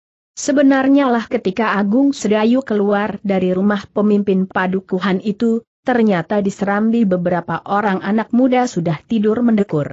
Biar sajalah, berkata Agung Sedayu ketika kawan-kawannya akan membangunkan mereka, tenaga mereka besok masih sangat diperlukan. Demikianlah, diam-diam Agung Sedayu telah memasuki halaman rumah Ki Gede seperti saat ia pergi. Ki Waskita yang terbangun mendengar desir di dinding, telah membuka pintu perlahan-lahan dan kemudian ia pun masih sempat mendengarkan cerita tentang anak-anak muda padukuhan kecil itu. Bagus Agung Sedayu, berkata Ki Waskita, teruskan. Tetapi kau pun harus bersiap-siap jika Ki Gede bertanya tentang rencana. Bukankah Ki Gede memerlukan satu rencana yang menyeluruh? Aku belum dapat menyusunnya sebelum aku mengenal dengan pasti keadaan tanah perdikan ini Ki Waskita. Namun yang terjadi di padukuhan kecil itu akan aku laporkan juga sebagai satu penjajagan khusus. Jika usaha di padukuhan kecil itu berhasil, maka yang dilakukan di padukuhan itu dapat dijadikan pola, meskipun masih harus disesuaikan dengan keadaan masing-masing padukuhan. Tidak setiap padukuhan dekat dengan sungai yang betapapun kecilnya. Dan tidak setiap padukuhan memerlukan perbaikan tata aliran air. Mungkin masih ada padukuhan yang tata aliran airnya masih baik tetapi mempunyai kelemahan di hidang yang lain, jawab Agung Sedayu. Tetapi nampaknya prastawa itu akan dapat menghalangi kerjamu secara menyeluruh, berkata Ki Waskita. Agung Sedayu menarik nafas dalam-dalam. Katanya, mungkin pada suatu saat, aku harus menyampaikannya kepada Ki Gede meskipun dengan sangat berhati-hati. Aku harus mendapat isyarat dari Ki Gede jika aku ingin berbuat sesuatu atas prastawa. Ki Waskita mengangguk-angguk. Ia mengenal sifat Agung Sedayu. Hati-hati dan sebenarnya lah agak lamban. Berbeda dengan Swandaru yang dapat berbuat lebih cepat, dengan pertimbangan yang tidak begitu rumit. Namun kadang-kadang agak terlalu mengambil kesimpulan atas sesuatu peristiwa sehingga kurang cermat. Namun dalam pada itu, tiba-tiba Ki Waskita berkata, untuk mengurangi persoalan yang dapat timbul antara kau dan Prastawa, maka biarlah aku ikut bersamamu. Agung Sedayu Agaknya Prastawa akan menjadi segan untuk berbuat dengan berlebih-lebihan atasmu. Sehingga dengan demikian kau akan mendapat kesempatan lebih banyak untuk melihat dan mendengar keadaan tanah perdikan ini sebaik-baiknya. Agung Sedayu mengerutkan keningnya. Namun kemudian ia mengangguk-angguk sambil menjawab, baiklah Ki Waskita. Jika Ki Waskita tidak berkeberatan, aku berharap, tingkah lakunya akan dapat dibatasi. Namun dalam pada itu, Agung Sedayu masih berniat ingin menyelesaikan bendungan itu tanpa kiwas kita, sementara kiwas kita pun menyetujuinya. Ternyata bahwa apa yang terjadi berbeda sekali dari yang dimaksud oleh Prastawa. Justru karena di hari-hari berikutnya ia tidak hadir di bendungan, maka ia tidak melihat apa yang telah dilakukan oleh Agung Sedayu. Dan ternyata yang dilakukan oleh Agung Sedayu kemudian telah menunjukkan pelaksanaan pembuatan bendungan, namun ia juga dapat melakukannya sendiri. Karena itu, maka anak-anak muda padukuhan itu justru semakin dekat dengan Agung Sedayu. Mereka tertarik kepada kepribadiannya yang rendah hati, tetapi menunjukkan kemampuan yang tinggi. Seperti yang direncanakan, maka akhirnya Agung Sedayu pun menyampaikannya pula kepada Ki Gede meskipun dengan alasan yang berbeda. Agung Sedayu sama sekali tidak mengatakan, bahwa Prastawa telah memaksanya untuk ikut serta memperbaiki bendungan. Tetapi dikatakannya bahwa atas pertimbangan Prastawa maka bendungan itu telah diperbaiki. Dengan demikian ia akan mendapat satu pertimbangan untuk langkah-langkah selanjutnya. Pekerjaan itu adalah satu penjajagan terhadap kerja yang lebih besar. Kerja secara menyeluruh di atas tanah perdikan menoreh. Prastawa terkejut ketika tiba-tiba pada suatu hari Ki Gede telah mengajaknya untuk meninjau bendungan itu bersama Agung Sedayu dan Ki Waskita. Di luar dugaan Ki Gede berkata, menurut Agung Sedayu, kaulah yang memberikan pertimbangan kepadanya. Prastawa tidak dapat menjawab selain menganggukkan kepalanya. Namun dia masih ragu-ragu, kenapa Agung Sedayu mengatakan bahwa ialah yang memberikan pertimbangan. Agaknya ia sudah benar-benar menjadi ketakutan. Berkata Prastawa di dalam hatinya. Namun kemudian, tetapi apakah kerja itu gagal dan tidak berarti sama sekali, sehingga ia minta agar paman melihatnya dan kemudian melihat kebodohanku. Namun Prastawa tidak sempat untuk merubah rencana Ki Gede. Dengan beberapa orang pemimpin padukuhan, Agung Sedayu dan Ki Waskita, Prastawa dan beberapa orang kawannya telah mengikut pula. Sekali lagi Prastawa terkejut melihat kenyataan, bahwa bendungan itu benar-benar telah berhasil mengangkat air. Meskipun tidak terlalu banyak, karena sungainya pun bukan sungai yang besar, namun air benar-benar telah mengalir melalui parit-parit yang menjelujur di tengah-tengah petak-petak sawah. Parit itu pun telah diperbaiki, desis Prastawa kepada kawan-kawannya. Kedatangan Ki Gede memberikan kegembiraan tersendiri kepada penghuni padukuhan itu. Seolah-olah mereka merasa pekerjaan mereka mendapat nilai langsung dari pemimpin tertinggi tanah perdikan menoreh. Namun hati Prastawa menjadi sakit ketika ternyata pemimpin padukuhan itu dalam laporannya lebih banyak menyebut nama Agung Sedayu daripada dirinya. Pemimpin padukuhan itu memuji ketangkasan sikap dan sifat yang rendah hati dari Agung Sedayu, sehingga karena kepemimpinannya itu maka bendungan itu dapat diselesaikan. Gila, geram Prastawa. Yang terjadi itu jauh dari yang diharapkan. Ia ingin menyudutkan Agung Sedayu pada satu kerja yang tidak berarti dan mengikatnya sehingga ia tidak akan dapat berbuat. Yang lain di tanah perdikan itu, namun ternyata ia justru berhasil mendapat pujian, bukan saja dari pemimpin padukuhan itu, tetapi langsung di hadapan pamannya dan para pemimpin tanah perdikan yang lain. Dalam pada itu, yang dilakukan itu adalah satu contoh keberhasilan Agung Sedayu. Karena itu, maka agak terpisah dari iring-iringan yang lain, yang sedang melihat-lihat bendungan itu, Prastawa berbisik. Kepada kawan-kawannya. Gila anak itu memang harus disingkirkan. Apakah kita akan menghajarnya sekali lagi, tetapi jauh lebih parah bertanya kawannya. Aku justru takut jika paman mengetahuinya, jawab Prastawa. Jadi, bagaimana menurut kau bertanya kawannya pula? Kita dapat meminjam tangan orang lain. Kita dapat menghubungi siapa pun untuk mengusir anak itu dari tanah perdikan ini. Aku menjadi semakin muak, desis Prastawa. Bagus, sahut kawannya, kita meminjam tangan orang-orang yang akan mampu mengusirnya, sementara kita tidak akan dapat dituduh berbuat sesuatu atasnya. Justru pada saat-saat yang ditentukan, aku akan berada di dekat Paman Argapati, desis Prastawa. Kawannya tertawa. Katanya, bagus. Orang-orang yang mengusirnya itu dapat memberikan kesan apa saja tentang perselisihannya dengan Agung Sedayu. Kita serahkan saja kepada orang-orang itu, jawab Prastawa. Bagus. Semakin cepat semakin baik.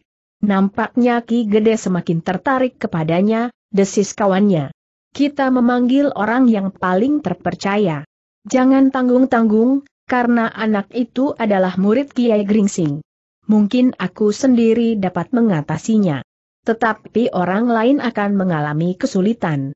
Karena itu, maka jika kita minta bantuan orang lain, maka orang-orang itu harus diyakinkan bahwa yang dihadapi adalah murid Kiai Gringsing yang dikenal sebagai orang bercambuk, yang justru pernah berada di tanah perdikan ini pula, sehingga mungkin orang-orang itu pernah juga mengenal, setidak-tidaknya mendengar tentang mereka. Dengan demikian, maka mereka akan dapat menyiapkan kekuatan yang memadai. Betapapun juga tinggi ilmunya, namun ia hanya seorang diri, berkata kawannya. Prastawa mengangguk-angguk.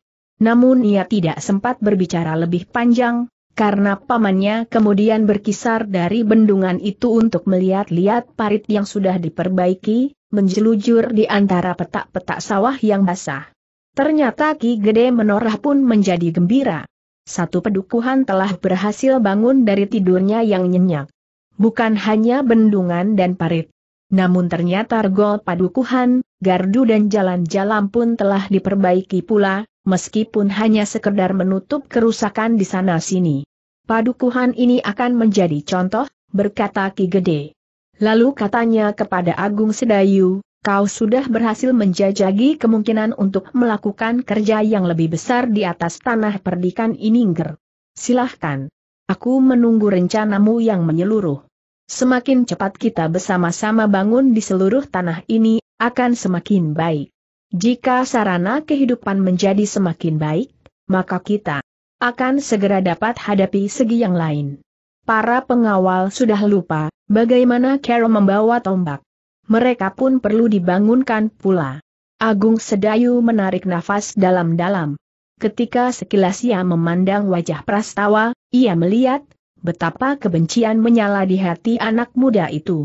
Namun Agung Sedayu menjawab juga, aku akan berusaha Ki Gede. Tentu saja dengan bantuan dan petunjuk anak-anak muda tanah perdikan ini sendiri. Aku menunggu, desis Ki Gede sambil berjalan di sepanjang jalan padukuhan. Gardu yang sudah diperbaiki itu mempunyai sebuah kentongan baru, yang dibuat dari pangkal pohon kelapa. Ketika Ki Gede mencoba memukul kentongan itu, terdengar suaranya nyaring dengan nada darah muluk. Dalam pada itu, orang-orang yang tidak melihat apa yang dilakukan Ki Gede, terkejut juga mendengar kentongan yang berbunyi tidak pada waktunya tetapi karena nada yang dilontarkan adalah nada yang tidak memberikan kesan khusus dan apalagi bahaya, maka orang-orang itu pun menduga bahwa seseorang sedang mencoba sebuah kentongan baru. Siapa yang membuat kentongan itu bertanya seseorang yang sedang berada di sawah bersama seorang kawannya. Karena keduanya bukan orang padukuhan yang sedang membangun bendungan, maka mereka tidak tahu bahwa padukuhan itu sudah memesan sebuah kentongan baru kepada Kisenu di sudut padukuhan. Dengan kebanggaan yang bergejolak di dalam hati, Ki Gede pun kemudian kembali ke padukuhan induk. Kepada para pemimpin tanah perdikan ia menekankan lagi agar mereka pun berbuat sesuatu untuk ikut mempercepat kerja yang sudah dimulai. Di hari berikutnya, Agung Sedayu sudah tidak lagi berada di bendungan yang sudah diselesaikannya tetapi ia ingin melihat-lihat daerah yang lain dari tanah perdikan menoreh. Untuk menghindari peristiwa-peristiwa yang tidak dikehendaki, maka Agung Sedayu telah memutari beberapa padukuhan bersama Ki Waskita. Sehingga dengan demikian, Prastawa menjadi segan untuk berbuat sesuatu atasnya. Gila, geram Prastawa, anak itu sekarang selalu ditemani oleh Paman Waskita. Tetapi pada suatu saat, ia akan sendiri, dalam keadaan apa pun, jawab kawannya, karena itu, kita harus secepatnya menghubungi orang-orang yang akan dapat mengusirnya. Atau menghapusnya sama sekali, geram Prastawa. Kawannya tidak menyaut. Bagaimanapun juga, sikap Prastawa yang terakhir itu membuatnya menjadi berdebar-debar. Ia tidak berniat melangkah begitu jauh. Ternyata kawan-kawannya yang lain pun menjadi termangu-mangu namun agaknya Prastawa tidak menghiraukannya. Dalam pada itu, selagi Prastawa berusaha untuk menemukan orang yang akan dapat mengusir Agung Sedayu, jauh dari tanah perdikan menoreh, seseorang sedang berusaha untuk menyempurnakan ilmunya dengan laku terakhir menjelang laku puncaknya, Pati Geni. Ajar Talpitu yang merasa terhina karena kekalahannya, telah bertekad untuk menyempurnakan ilmunya dan sekali lagi menghadapi Agung Sedayu. Jika pada saatnya ia selesai dengan laku puncaknya, dan ternyata Agung Sedayu tidak diketemukannya. Lagi di padepokannya, maka ajar Talpitu itu tentu akan mencarinya sampai ke ujung bumi sekalipun. Namun Prastawa sama sekali tidak mengerti persoalan antara Agung Sedayu dan ajar Talpitu. Sehingga dengan demikian, maka ia telah berusaha untuk menemui orang yang diketahuinya, memiliki kemampuan yang luar biasa, meskipun orang itu dari lingkungan orang-orang yang hidup di luar tatanan hubungan manusia kebanyakan, lewat seorang anak muda tanah perdikan menoreh yang memang agak lain dari kebanyakan anak-anak muda. Siapa anak itu bertanya seorang yang bertubuh tinggi, kekar dengan kumis, jambang dan janggut yang lebat. Namanya Agung Sedayu, Sahut Prastawa, ia adalah murid orang bercambuk yang terkenal, dan pernah berada di tanah perdikan ini pula pada masa Kakang Sidanti menyalakan api perlawanan di tanah ini. Setelah itu pun ia beberapa kali telah datang ke tanah perdikan ini untuk keperluan yang bermacam-macam. Apa peduliku dengan orang bercambuk itu geram orang bertubuh kekar dan berjambang lebat itu, setiap orang tahu bahwa aku adalah benggol kecu yang paling ditakuti. Tetapi ia memiliki bekal ilmu yang mapan untuk menghadapi keadaan yang paling gawat sekalipun melawan orang-orang yang telah memiliki nama, desis Prastawa. Lalu, sebenarnya aku sendiri dapat menyelesaikannya, karena aku adalah murid Ki Argapati. Tetapi dalam keadaan ini Paman tentu segera mencurigai aku dan mungkin Paman akan sangat marah dan sampai hati menghukum aku. Apakah anak itu memiliki kemampuan seperti Ki Gede bertanya orang itu? Tentu tidak. Sudah aku katakan, aku pun akan mampu mengatasinya, Prastawa berhenti sejenak, lalu. Apakah kau merasa memiliki ilmu seperti Paman Argapati? Ah, tentu tidak, jawab orang itu, tetapi jarang sekali ada orang yang mampu mengimbangi kemampuan Ki Gede. Ki Tambakwadi pun tidak mampu melawannya. Apalagi aku. Tetapi jika anak itu tidak setinggi Ki Gede kemampuannya, aku akan merasa dapat mengalahkannya. Aku yakin. Prastawa mengangguk-angguk. Namun kemudian katanya, tetapi jangan seorang diri kau tidak percaya bahwa aku akan dapat mengalahkannya dan seandainya kau kehendaki membunuhnya bertanya orang itu. Bukan tidak percaya, jawab Prastawa, tetapi ia adalah orang yang sangat licik. Ia akan dapat melarikan diri dan menyampaikan persoalannya kepada Paman Argapati. Jadi aku harus membunuhnya bertanya orang itu. Prastawa menjadi ragu-ragu. Namun kemudian ia menggeleng lemah, tidak perlu. Tetapi kau harus membuatnya jerat, mengancamnya sehingga ia tidak akan berani lagi menginjakan kakinya di atas tanah perdikan menoreh. Tetapi jika di luar kemauanku, tanganku telah mengoyak kulit dagingnya atau mematahkan tulangnya. Tanda tanya bertanya orang itu. Terserah kepadamu jika keadaan memang menuntut demikian. Maksudku jika karena perlawanannya kau terpaksa mengambil sikap yang tegas, jawab Prastawa. Jika demikian, maka bawa saja ia ke telatah Mataram dan lemparkan ia di jalan-jalan agar diketemukan orang yang dapat membawanya ke Mataram dan selanjutnya mengembalikannya ke Jati Anom. Tetapi jika di luar niatmu, ia terbunuh, itu adalah karena nasibnya yang sangat buruk. Orang berkumis, berjanggut dan berjambang lebat itu tertawa. Katanya, serahkan semuanya kepadaku. Sekali lagi aku peringatkan, bawalah dua atau tiga orang kawan agar anak itu tidak akan sempat melarikan diri, berkata Prastawa kemudian, tetapi ingat, lakukan semua rencana jika ia seorang diri. Nampaknya karena ketakutannya kepadaku, ia selalu berdua dengan Paman Waskita. Nah, ketahuilah, Paman Waskita memiliki kemampuan setingkat dengan Paman Argapati. Benggol kecu itu mengangguk-angguk katanya. Percayakan kepadaku. Tetapi jika kau kehendaki aku harus membawa satu dua orang kawan, maka aku akan membawanya. Mungkin benar, bahwa aku harus berjaga-jaga agar anak itu tidak sempat melarikan diri. Kau harus menentukan waktu, kapan kau akan melakukannya, berkata Prastawa selanjutnya. Kaulah yang menentukan, jawab orang itu. Baiklah, Lakukanlah pekan depan. Karilah saat yang paling baik. Ingat, jangan kau lakukan jika ada paman was kita bersamanya. Kau akan dapat menjadi endapan endok pangamun-amun, pesan Prastawa. Bagaimana aku tahu kapan ia pergi seorang diri, bertanya orang itu. Kita akan bahat.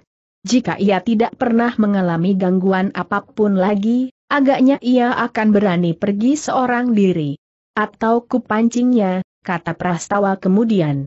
Perjanjian pun telah disetujui bersama. Orang yang dikenal sebagai seorang benggol kecu yang ditakuti itu, akan membawa tiga orang kawannya untuk membuat Agung Sedayu jerat dan mengusirnya dari tanah perdikan. Namun dalam pada itu benggol kecu itu bergumam kepada diri sendiri, tetapi jika karena sesuatu hal anak itu terbunuh, bukan salahku. Aku sudah mengatakan kemungkinan itu. Agaknya lebih mudah untuk membunuh seseorang daripada menyakitinya dan kemudian mengancam, mengusir dan untuk selanjutnya mengawasi agar ia tidak kembali. Karena itu, maka benggol kecu yang berkumis, berjanggut dan berjambang lebat itu sama sekali tidak berpikir untuk terbuat lain kecuali membunuhnya dan melemparkannya ke kali Praga. Sementara itu Prastawa pun telah berusaha untuk tidak berbuat sesuatu yang dapat menakut-nakuti Agung Sedayu. Dalam saat siat terakhir ia nampak tidak mengacuhkannya lagi. Seolah-olah ia sudah tidak mempunyai persoalan lagi dengan Agung Sedayu. Justru karena itu, seperti yang diharapkannya, ternyata Agung Sedayu berpendapat lain. Disangkanya bahwa Piastawa sudah jemu memusuhinya sehingga ia tidak menghiraukannya lagi. Anak itu cerdik dan licik, berkata Kiwas kita, hati-hatilah. Mungkin ia mempunyai rencana tersendiri. Menurut pengamatanku, ia tidak akan menjadi jemu. Bahkan mungkin ia akan bertindak lebih jauh lagi untuk mengusirmu, justru setelah kau berhasil dengan bendungan itu. Agung Sedayu tidak menjawab. Tetapi ia tidak mempunyai prasangka seburuk itu terhadap Prastawa. Seperti yang diharapkan oleh Prastawa, maka pada saat-saat berikutnya Agung Sedayu telah keluar dari padukuhan induk seorang diri. Ketika ia berpapasan dengan Prastawa dan Prastawa tidak berbuat sesuatu, meskipun ia menyapa dengan tidak ramah sama sekali. Agung Sedayu berpendapat bahwa Prastawa telah berubah. Mungkin Ki Gede telah menasehatinya, berkata Agung Sedayu di dalam hatinya. Namun Agung Sedayu sama sekali tidak menduga, bahwa empat orang telah bersiap untuk berbuat jahat terhadapnya pekan mendatang. Dan pekan mendatang itu pun akhirnya menjadi semakin dekat pula. Namun dalam pada itu, setiap kali kiwas kita masih selalu berpesan agar ia berhati-hati.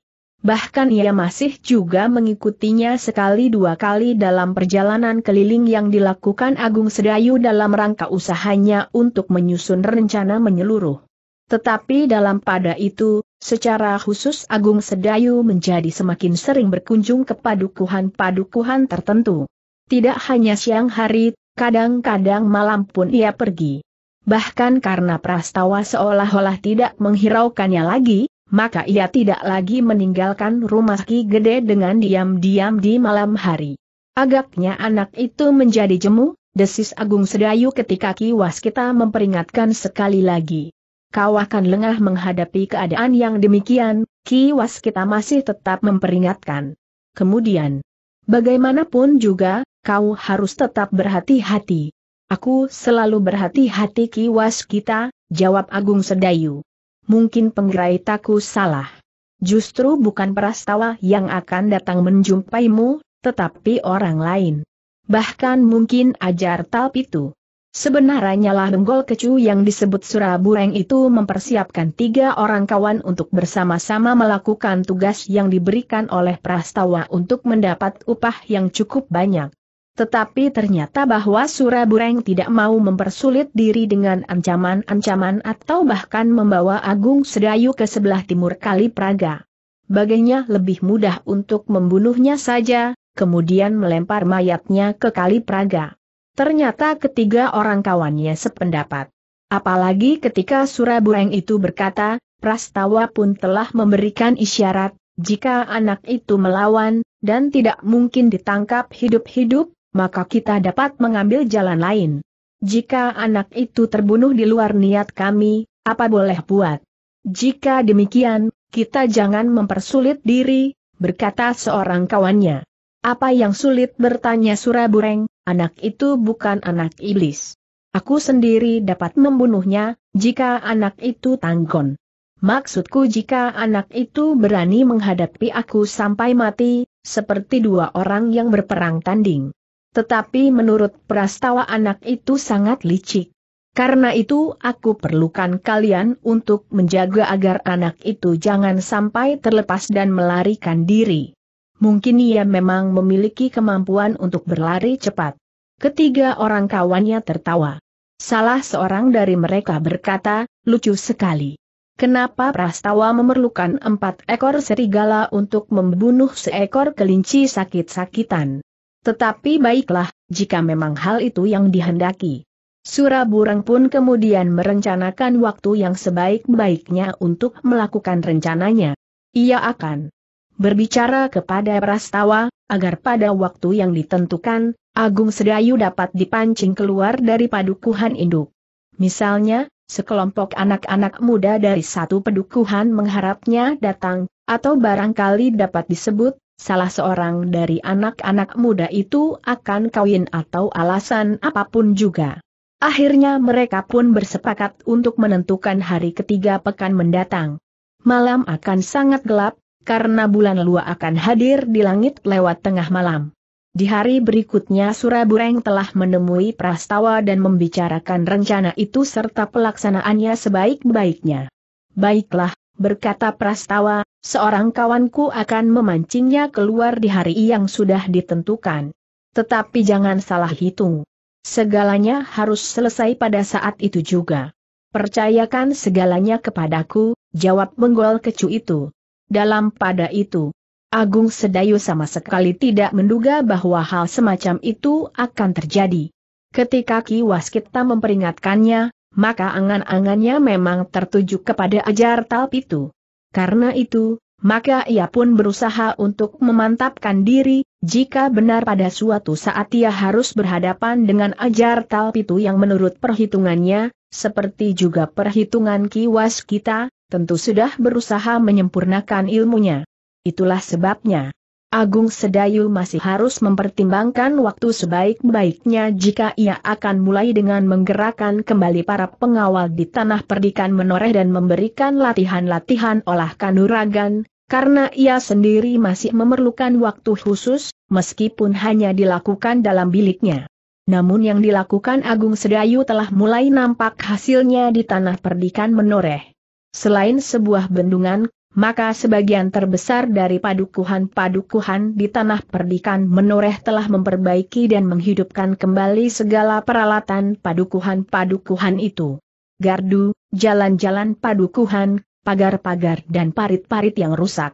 Bahkan di antara mereka sudah mulai mempersiapkan peralatan untuk menelusur kesalahan, apakah yang menyebabkan air di parit-parit menjadi jauh berkurang. Sementara itu, Agung Sedayu pun telah mulai menyusun rencana untuk membangun tanah perdikan itu. Secara keseluruhan, dibantu oleh para pemimpin tanah perdikan dan para pemimpin padukuhan yang memberikan bahan-bahan yang sangat diperlukan. Kami sudah terbangun dari tidur yang terlalu nyenyak. Berkata salah seorang pemimpin padukuhan, namun tidur yang terlalu nyenyak itu pun ternyata sangat melelahkan. Tetapi justru karena itulah, maka Prastawa menjadi semakin tidak sabar. Hari ketiga pekan mendatang rasa-rasanya menjadi sangat lama. Ia sudah terlalu muak melihat Agung Sedayu yang menurut pengamatannya menjadi terlalu sombong atas pujian yang diberikan oleh para pemimpin tanah perdikan menoreh. Tetapi Prastawa harus menahan diri. Ia harus sabar menunggu hari ketiga pekan mendatang. Dalam pada itu, di sela-sela kunjungannya ke padukuhan-padukuhan untuk sekedar berbincang. Bincang dan bergurau dengan anak-anak muda di gardu-gardu yang sudah diperbaiki, kadang-kadang Agung Sedayu masih melihat ke dalam dirinya sendiri. Ia sadar sepenuhnya bahwa Kiwas kita tahu benar akan keadaannya. Karena itulah, maka, kadang-kadang, lewat tengah malam, Agung Sedayu duduk di pembaringannya sambil menyilangkan tangannya. Pada saat-saat yang demikian kiwas kita sama sekali tidak mengganggunya.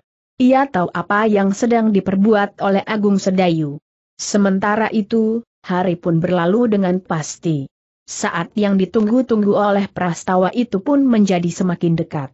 Betapa ia tidak sabar lagi, ketika ia masih harus menunggu sehari lagi. Segalanya sudah diatur sebaik-baiknya. Ia sudah menetapkan seseorang untuk menemui dan memanggil Agung Sedayu di malam yang sudah disepakati. Namun dalam pada itu, ia sendiri menjadi bimbang. Ia ingin membuang kecurigaan pamannya dengan tetap berada di rumah. Tetapi lah ingin melihat apa yang bakal terjadi. Sehingga dengan demikian ia harus membuat rencana sebaik-baiknya bagi dirinya sendiri. Aku harus menyiapkan saksi palsu. Meskipun aku tidak berada di rumah, kawan-kawanku harus menyebutkan bahwa aku benar-benar tidak mengetahui apa yang telah terjadi atas Agung Sedayu. Demikianlah Prastawa telah berunding dengan kawan-kawan terdekatnya. Meskipun Ki Gede tidak bertanya, tetapi mereka harus memberikan kesan lewat care apa pun, bahwa Prastawa berada bersama mereka di satu tempat yang telah ditetapkan. Demikianlah, maka hari-hari yang ditunggu oleh Prastawa itu pun akhirnya datang juga. Ketika matahari terbit di hari yang ditentukan, rasa-rasanya waktu beredar sangat lamban.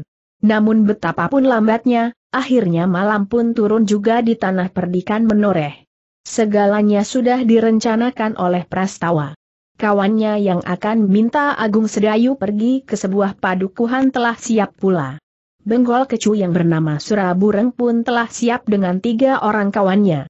Tidak akan ada kesalahan lagi dalam rencana yang sudah disusun matang itu. Segalanya akan berjalan lancar. Dan sejak malam itu, Agung Sedayu akan hilang dari tanah perdikan. Mungkin dalam waktu tiga atau empat hari, akan datang berita dan Jati Anom, bahwa Agung Sedayu telah kembali ke Jati Anom dan keberatan untuk datang lagi ke tanah perdikan menoreh. Namun Prastawa tidak menyadari, bahwa Surabureng tidak akan memperlakukan Agung Sedayu itu demikian. Menghajarnya sampai lumpuh, dan melemparkannya ke sebelah timur Kali Praga atau setelah meremukan tulang-tulangnya, kemudian dengan sisa tenaga yang ada.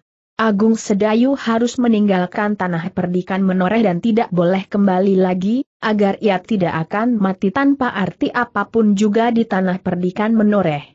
Surabureng ternyata menganggap bahwa membunuh anak muda itu akan jauh lebih mudah daripada sekedar menyakiti dan mengusirnya.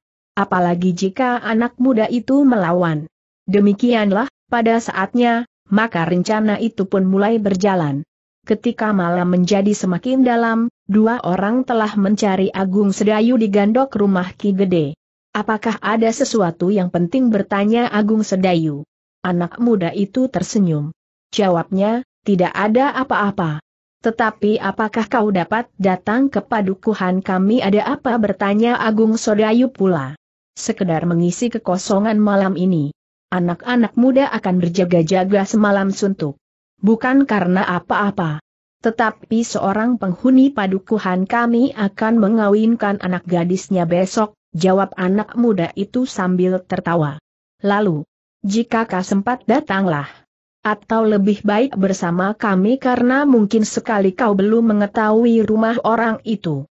Lalu, apakah ada hal yang dapat dibicarakan di pertemuan itu bertanya Agung Sedayu selanjutnya? Tidak. Sekedar berjaga-jaga saja sambil berbuat apa saja yang dapat dipakai untuk mengisi waktu.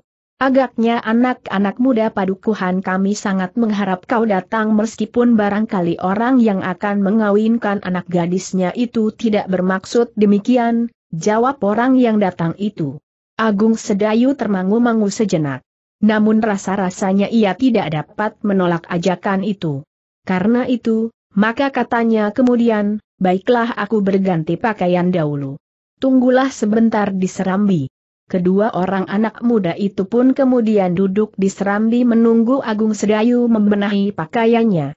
Ketika Ki Waskita mendengar dari Agung Sedayu tentang ajakan kedua anak muda itu, maka kiwas kita tiba-tiba saja menjadi berdebar-debar. Karena itu, maka sekali lagi ia memperingatkan, berhati-hatilah Agung Sedayu. Agung Sedayu mengerutkan keningnya. Namun kemudian sambil mengangguk ia menjawab, aku akan berhati-hati paman. Aku mempunyai dua orang kawan yang akan dapat membantuku di perjalanan jika terjadi sesuatu. Ki Waskita memandang Agung Sedayu dengan tajamnya. Lalu katanya, berhati-hatilah terhadap satu kemungkinan bahwa Ki Ajar Talpitu akan mencarimu sampai ke tempat ini. Tetapi berhati-hatilah juga, justru terhadap kedua anak muda itu, keduanya anak tanah perdikan ini, jawab Agung Sedayu. Memang. Tetapi kemungkinan-kemungkinan buruk itu sering datang tanpa dapat diduga-duga sebelumnya, desis Ki Waskita. Agung Sedayu mengangguk-angguk. Sambil mendekati Ki Waskita ia berdesis, Mudah-mudahan tidak terjadi sesuatu paman. Namun seandainya bahaya itu datang pula, aku sudah cukup berhati-hati untuk menyelamatkan diri. Ki Waskita hanya dapat menarik nafas dalam-dalam. Hampir saja ia bermaksud untuk mengikuti Agung Sedayu, namun menurut keterangan Agung Sedayu, anak-anak muda itu mengundangnya dalam pertemuan sekelompok anak-anak muda saja. Sejenak kemudian, Agung Sedayu pun telah siap. Ketika ia sampai di pintu, ternyata Ki Waskita memanggilnya. Ketika Agung Sedayu berpaling, ia melihat Ki Waskita menyibakkan tikar di pembaringannya. Apakah kau tidak akan membawanya bertanya Ki Waskita sambil menunjuk cambuk Agung Sedayu yang diletakkan di bawah tikar. Agung Sedayu mengerutkan keningnya. Namun kemudian katanya, aku kira, dalam keadaan seperti ini aku tidak memerlukannya Ki Waskita. Ki Waskita menggeleng lemah.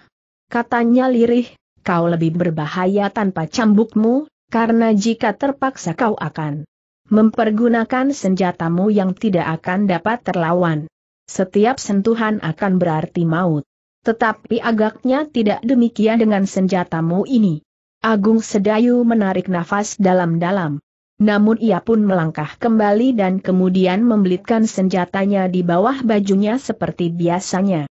Baru kemudian ia pun telah minta diri. Demikian ia melangkai pintu, kedua orang yang menjemputnya itu pun berdiri. Kemudian mereka bersama-sama menuruni tangga gandok dan langsung menyeberangi halaman menuju regol. Ternyata Prastawa berdiri di sebelah regol yang terbuka.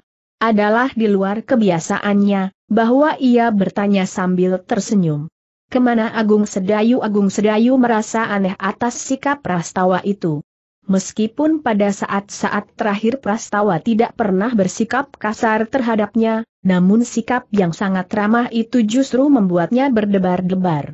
Apalagi Agung Sedayu mempunyai panggraita yang tajam sehingga sikap itu telah dihubungkannya dengan pesan kiwas kita, sehingga dengan demikian maka Agung Sedayu pun benar-benar merasa harus berhati-hati. Namun demikian Agung Sedayu menjawab pula, Aku akan mengikuti kedua anak muda ini. Agaknya senang juga berjaga-jaga di rumah seseorang yang sedang mempunyai keperluan untuk mengawinkan anaknya. Menyenangkan sekali, jawab Prastawa, hidangan akan mengalir untuk semalam suntuk, apakah kau tidak pergi juga ke sana bertanya Agung Sedayu. Prastawa menggeleng sambil menjawab, kau sajalah pergi. Anak-anak itu ingin berbicara denganmu sepanjang malam. Agung Sedayu tersenyum. Kemudian ia pun minta diri meninggalkan regol halaman rumah Ki Gede. Prastawa memandang langkah Agung Sedayu yang semakin jauh dan kemudian hilang di dalam gelapnya malam. Sambil menarik nafas dalam-dalam ia pun kemudian beringsut meninggalkan regol yang masih tetap terbuka. Sambil menyembunyikan senyumnya ia pun naik ke pendapa dan hilang di pintu peringgitan. Para peronda di gardu kemudian menutup pintu regol yang terbuka meskipun tidak menyelaraknya. Namun demikian mereka kembali duduk di gardu, Prastawa pun telah turun pula dari pendapa. Dua orang kawannya yang berada di gardu bersama para peronda pun turun pula dan bersamanya keluar dari halaman. Sekali lagi pintu regol itu ditinggalkannya terbuka. Sekali lagi para peronda harus menutup pintu itu. Jangan terlalu rapat desis pemimpin peronda itu, biarlah mereka yang akan keluar masuk tidak usah membukanya lagi, sehingga justru terlampau lebar. Ke mana anak itu bertanya seseorang di antara para peronda. Entahlah, sahut yang lain, sudah menjadi kebiasaan Prastawa setiap malam berkeliaran. Bahkan kadang-kadang ke tempat yang tidak dapat disebutkan. Apakah Ki Gede tidak mengetahuinya bertanya yang lain pula? Tentu sudah mengetahuinya, desis pemimpin peronda itu. Tetapi entahlah. Kadang-kadang Ki Gede juga sudah memberikan beberapa nasihat kepada anak itu. Tetapi agaknya ia memang keras kepala. Sekarang perhatian Ki Gede lebih banyak tertuju kepada Agung Sedayu. Meskipun ia orang lain tetapi ia berbuat lebih banyak dari Prastawa. Sikap Prastawa sudah berubah, berkata seorang kawannya, Biasanya ia bersikap kasar terhadap Agung Sedayu. Kita akan melihat, siapa yang akan lebih banyak memberikan arti kepada tanah perdikan ini meskipun Prastawa adalah anak tanah perdikan, sementara Agung Sedayu dapat dikatakan orang lain, desis pemimpin peronda itu.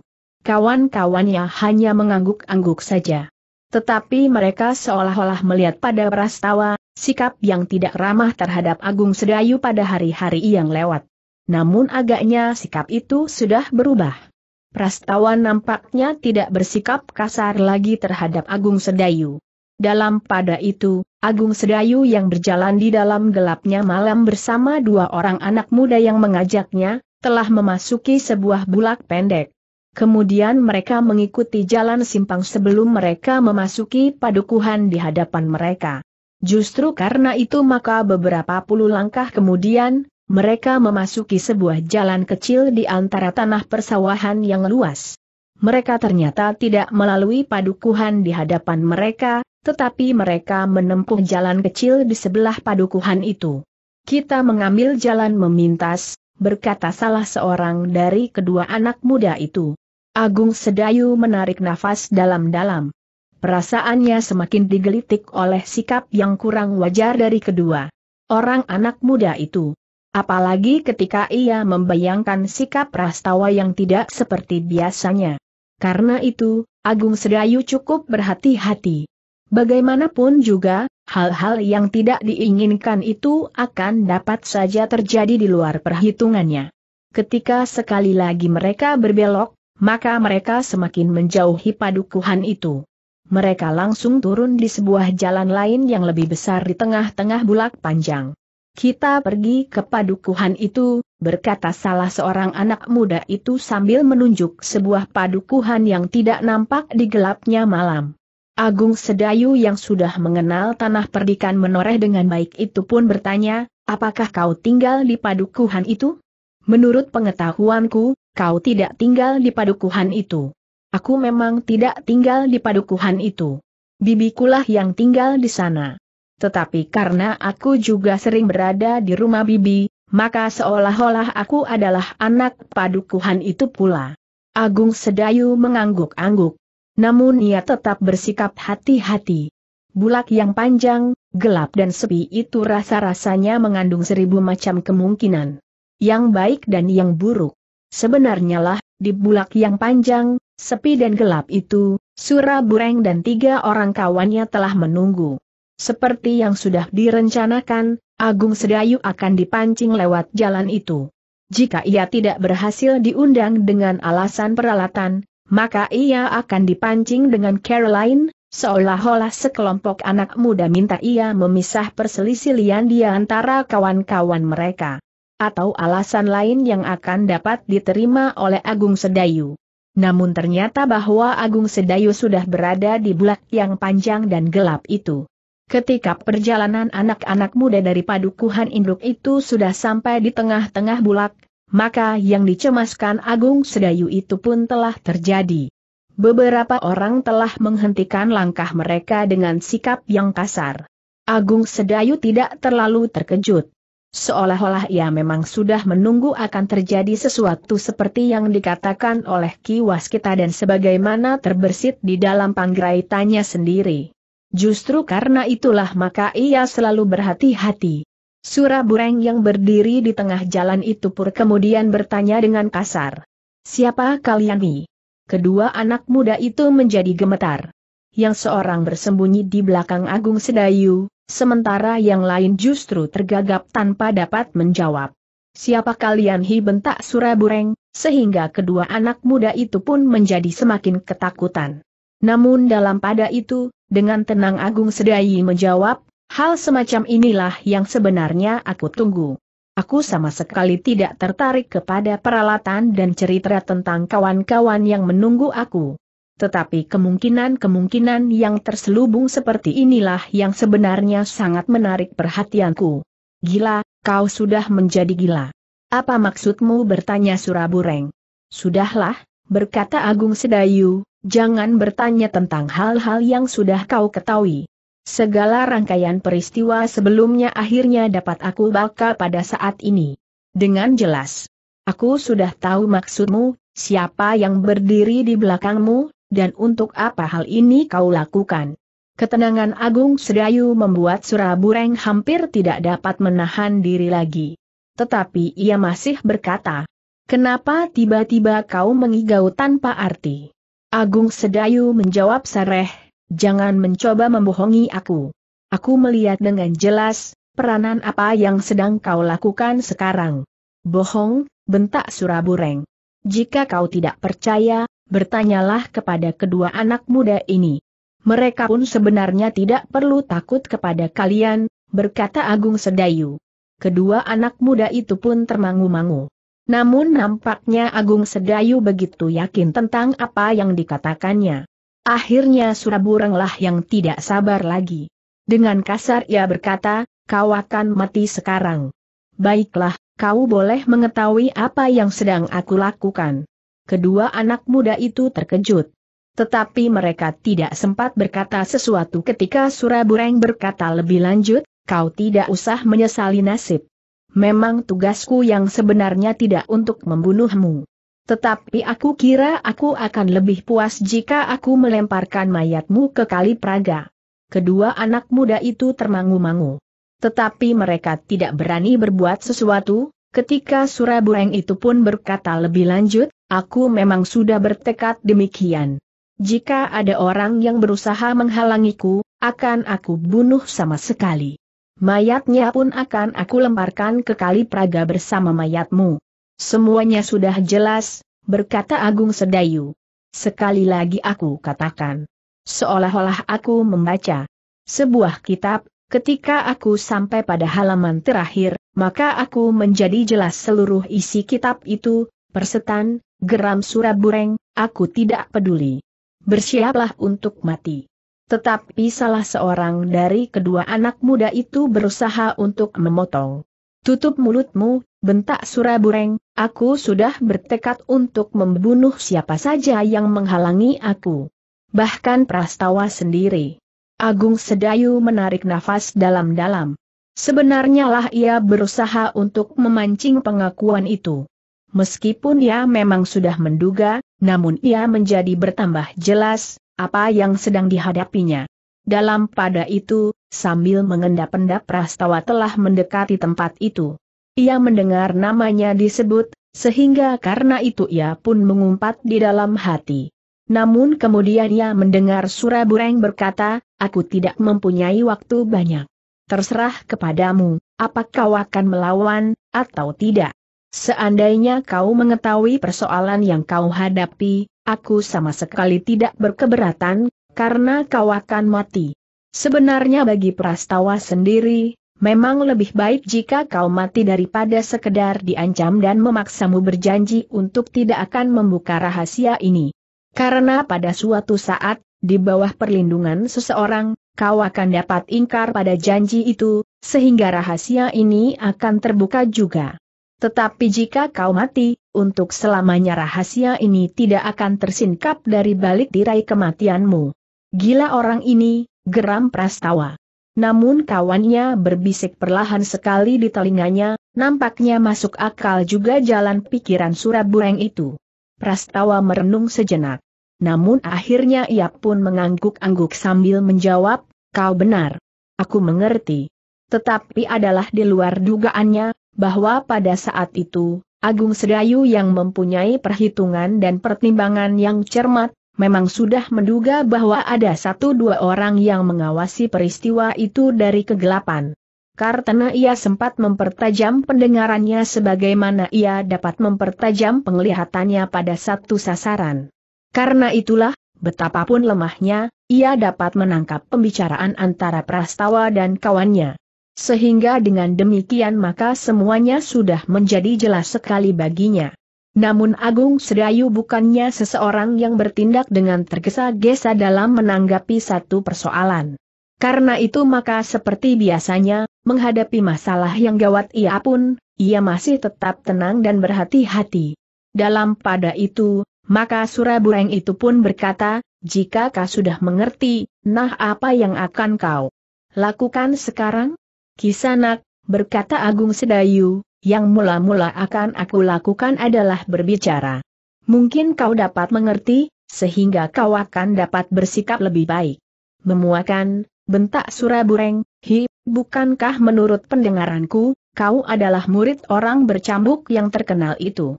Sekarang adalah waktunya untuk membuktikan, apakah benar orang bercambuk itu mempunyai kelebihan dari orang lain. Tidak ada kelebihan apa pun, jawab Agung Sedayu. Jawaban itu memang mengejutkan Surabureng. Tetapi akhirnya ia menjadi semakin marah. Seolah-olah Agung Sedayu dengan sengaja telah menghinanya. Namun Agung Sedayu berkata selanjutnya, banyak orang yang salah mengerti tentang orang bercambuk yang tidak lebih dari salah seorang di antara kumpulan gembala. Demikian pula murid-muridnya.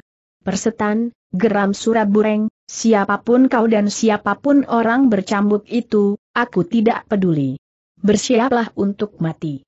Jangan tergesa-gesa kisanak, berkata Agung Sedayu, apakah tidak ada jalan lain daripada membunuh? Tidak ada jalan lain. Jangan berbicara lagi. Setiap kata yang terloncat dari mulutmu, hanya membuat aku menjadi semakin marah, dan semakin membakar nafsuku untuk membunuhmu dengan cara yang tidak sewajarnya. Kau cepat dibakar oleh perasaanmu, desis Agung Sedayu. Cukup. Kau membuat aku ingin mengikatmu dan menceburkan kau ke dalam sungai itu hidup-hidup, desis Surabureng. Agung Sedayu tidak sempat menjawab, karena tiba-tiba Surabureng berkata lantang kepada kawan-kawannya, jaga anak ini agar tidak sempat lari. Ketiga orang kawan Surabureng itu pun segera memencar.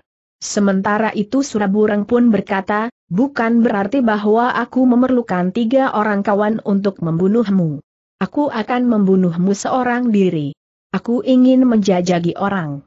Bercambuk itu sendiri lewat muridnya. Berapa lama kau mampu bertahan, sehingga dengan demikian aku akan mengerti, berapa lama gurumu mampu bertahan melawan aku. Agung Sedayu menarik nafas dalam-dalam. Orang ini memang tidak dapat diajak berbicara lagi. Karena itu maka tidak ada jalan lain yang dapat dilakukannya kecuali mempertahankan diri. Betapapun juga ia tidak mau mengalami perlakuan yang kasar, apalagi benar-benar membahayakan jiwanya.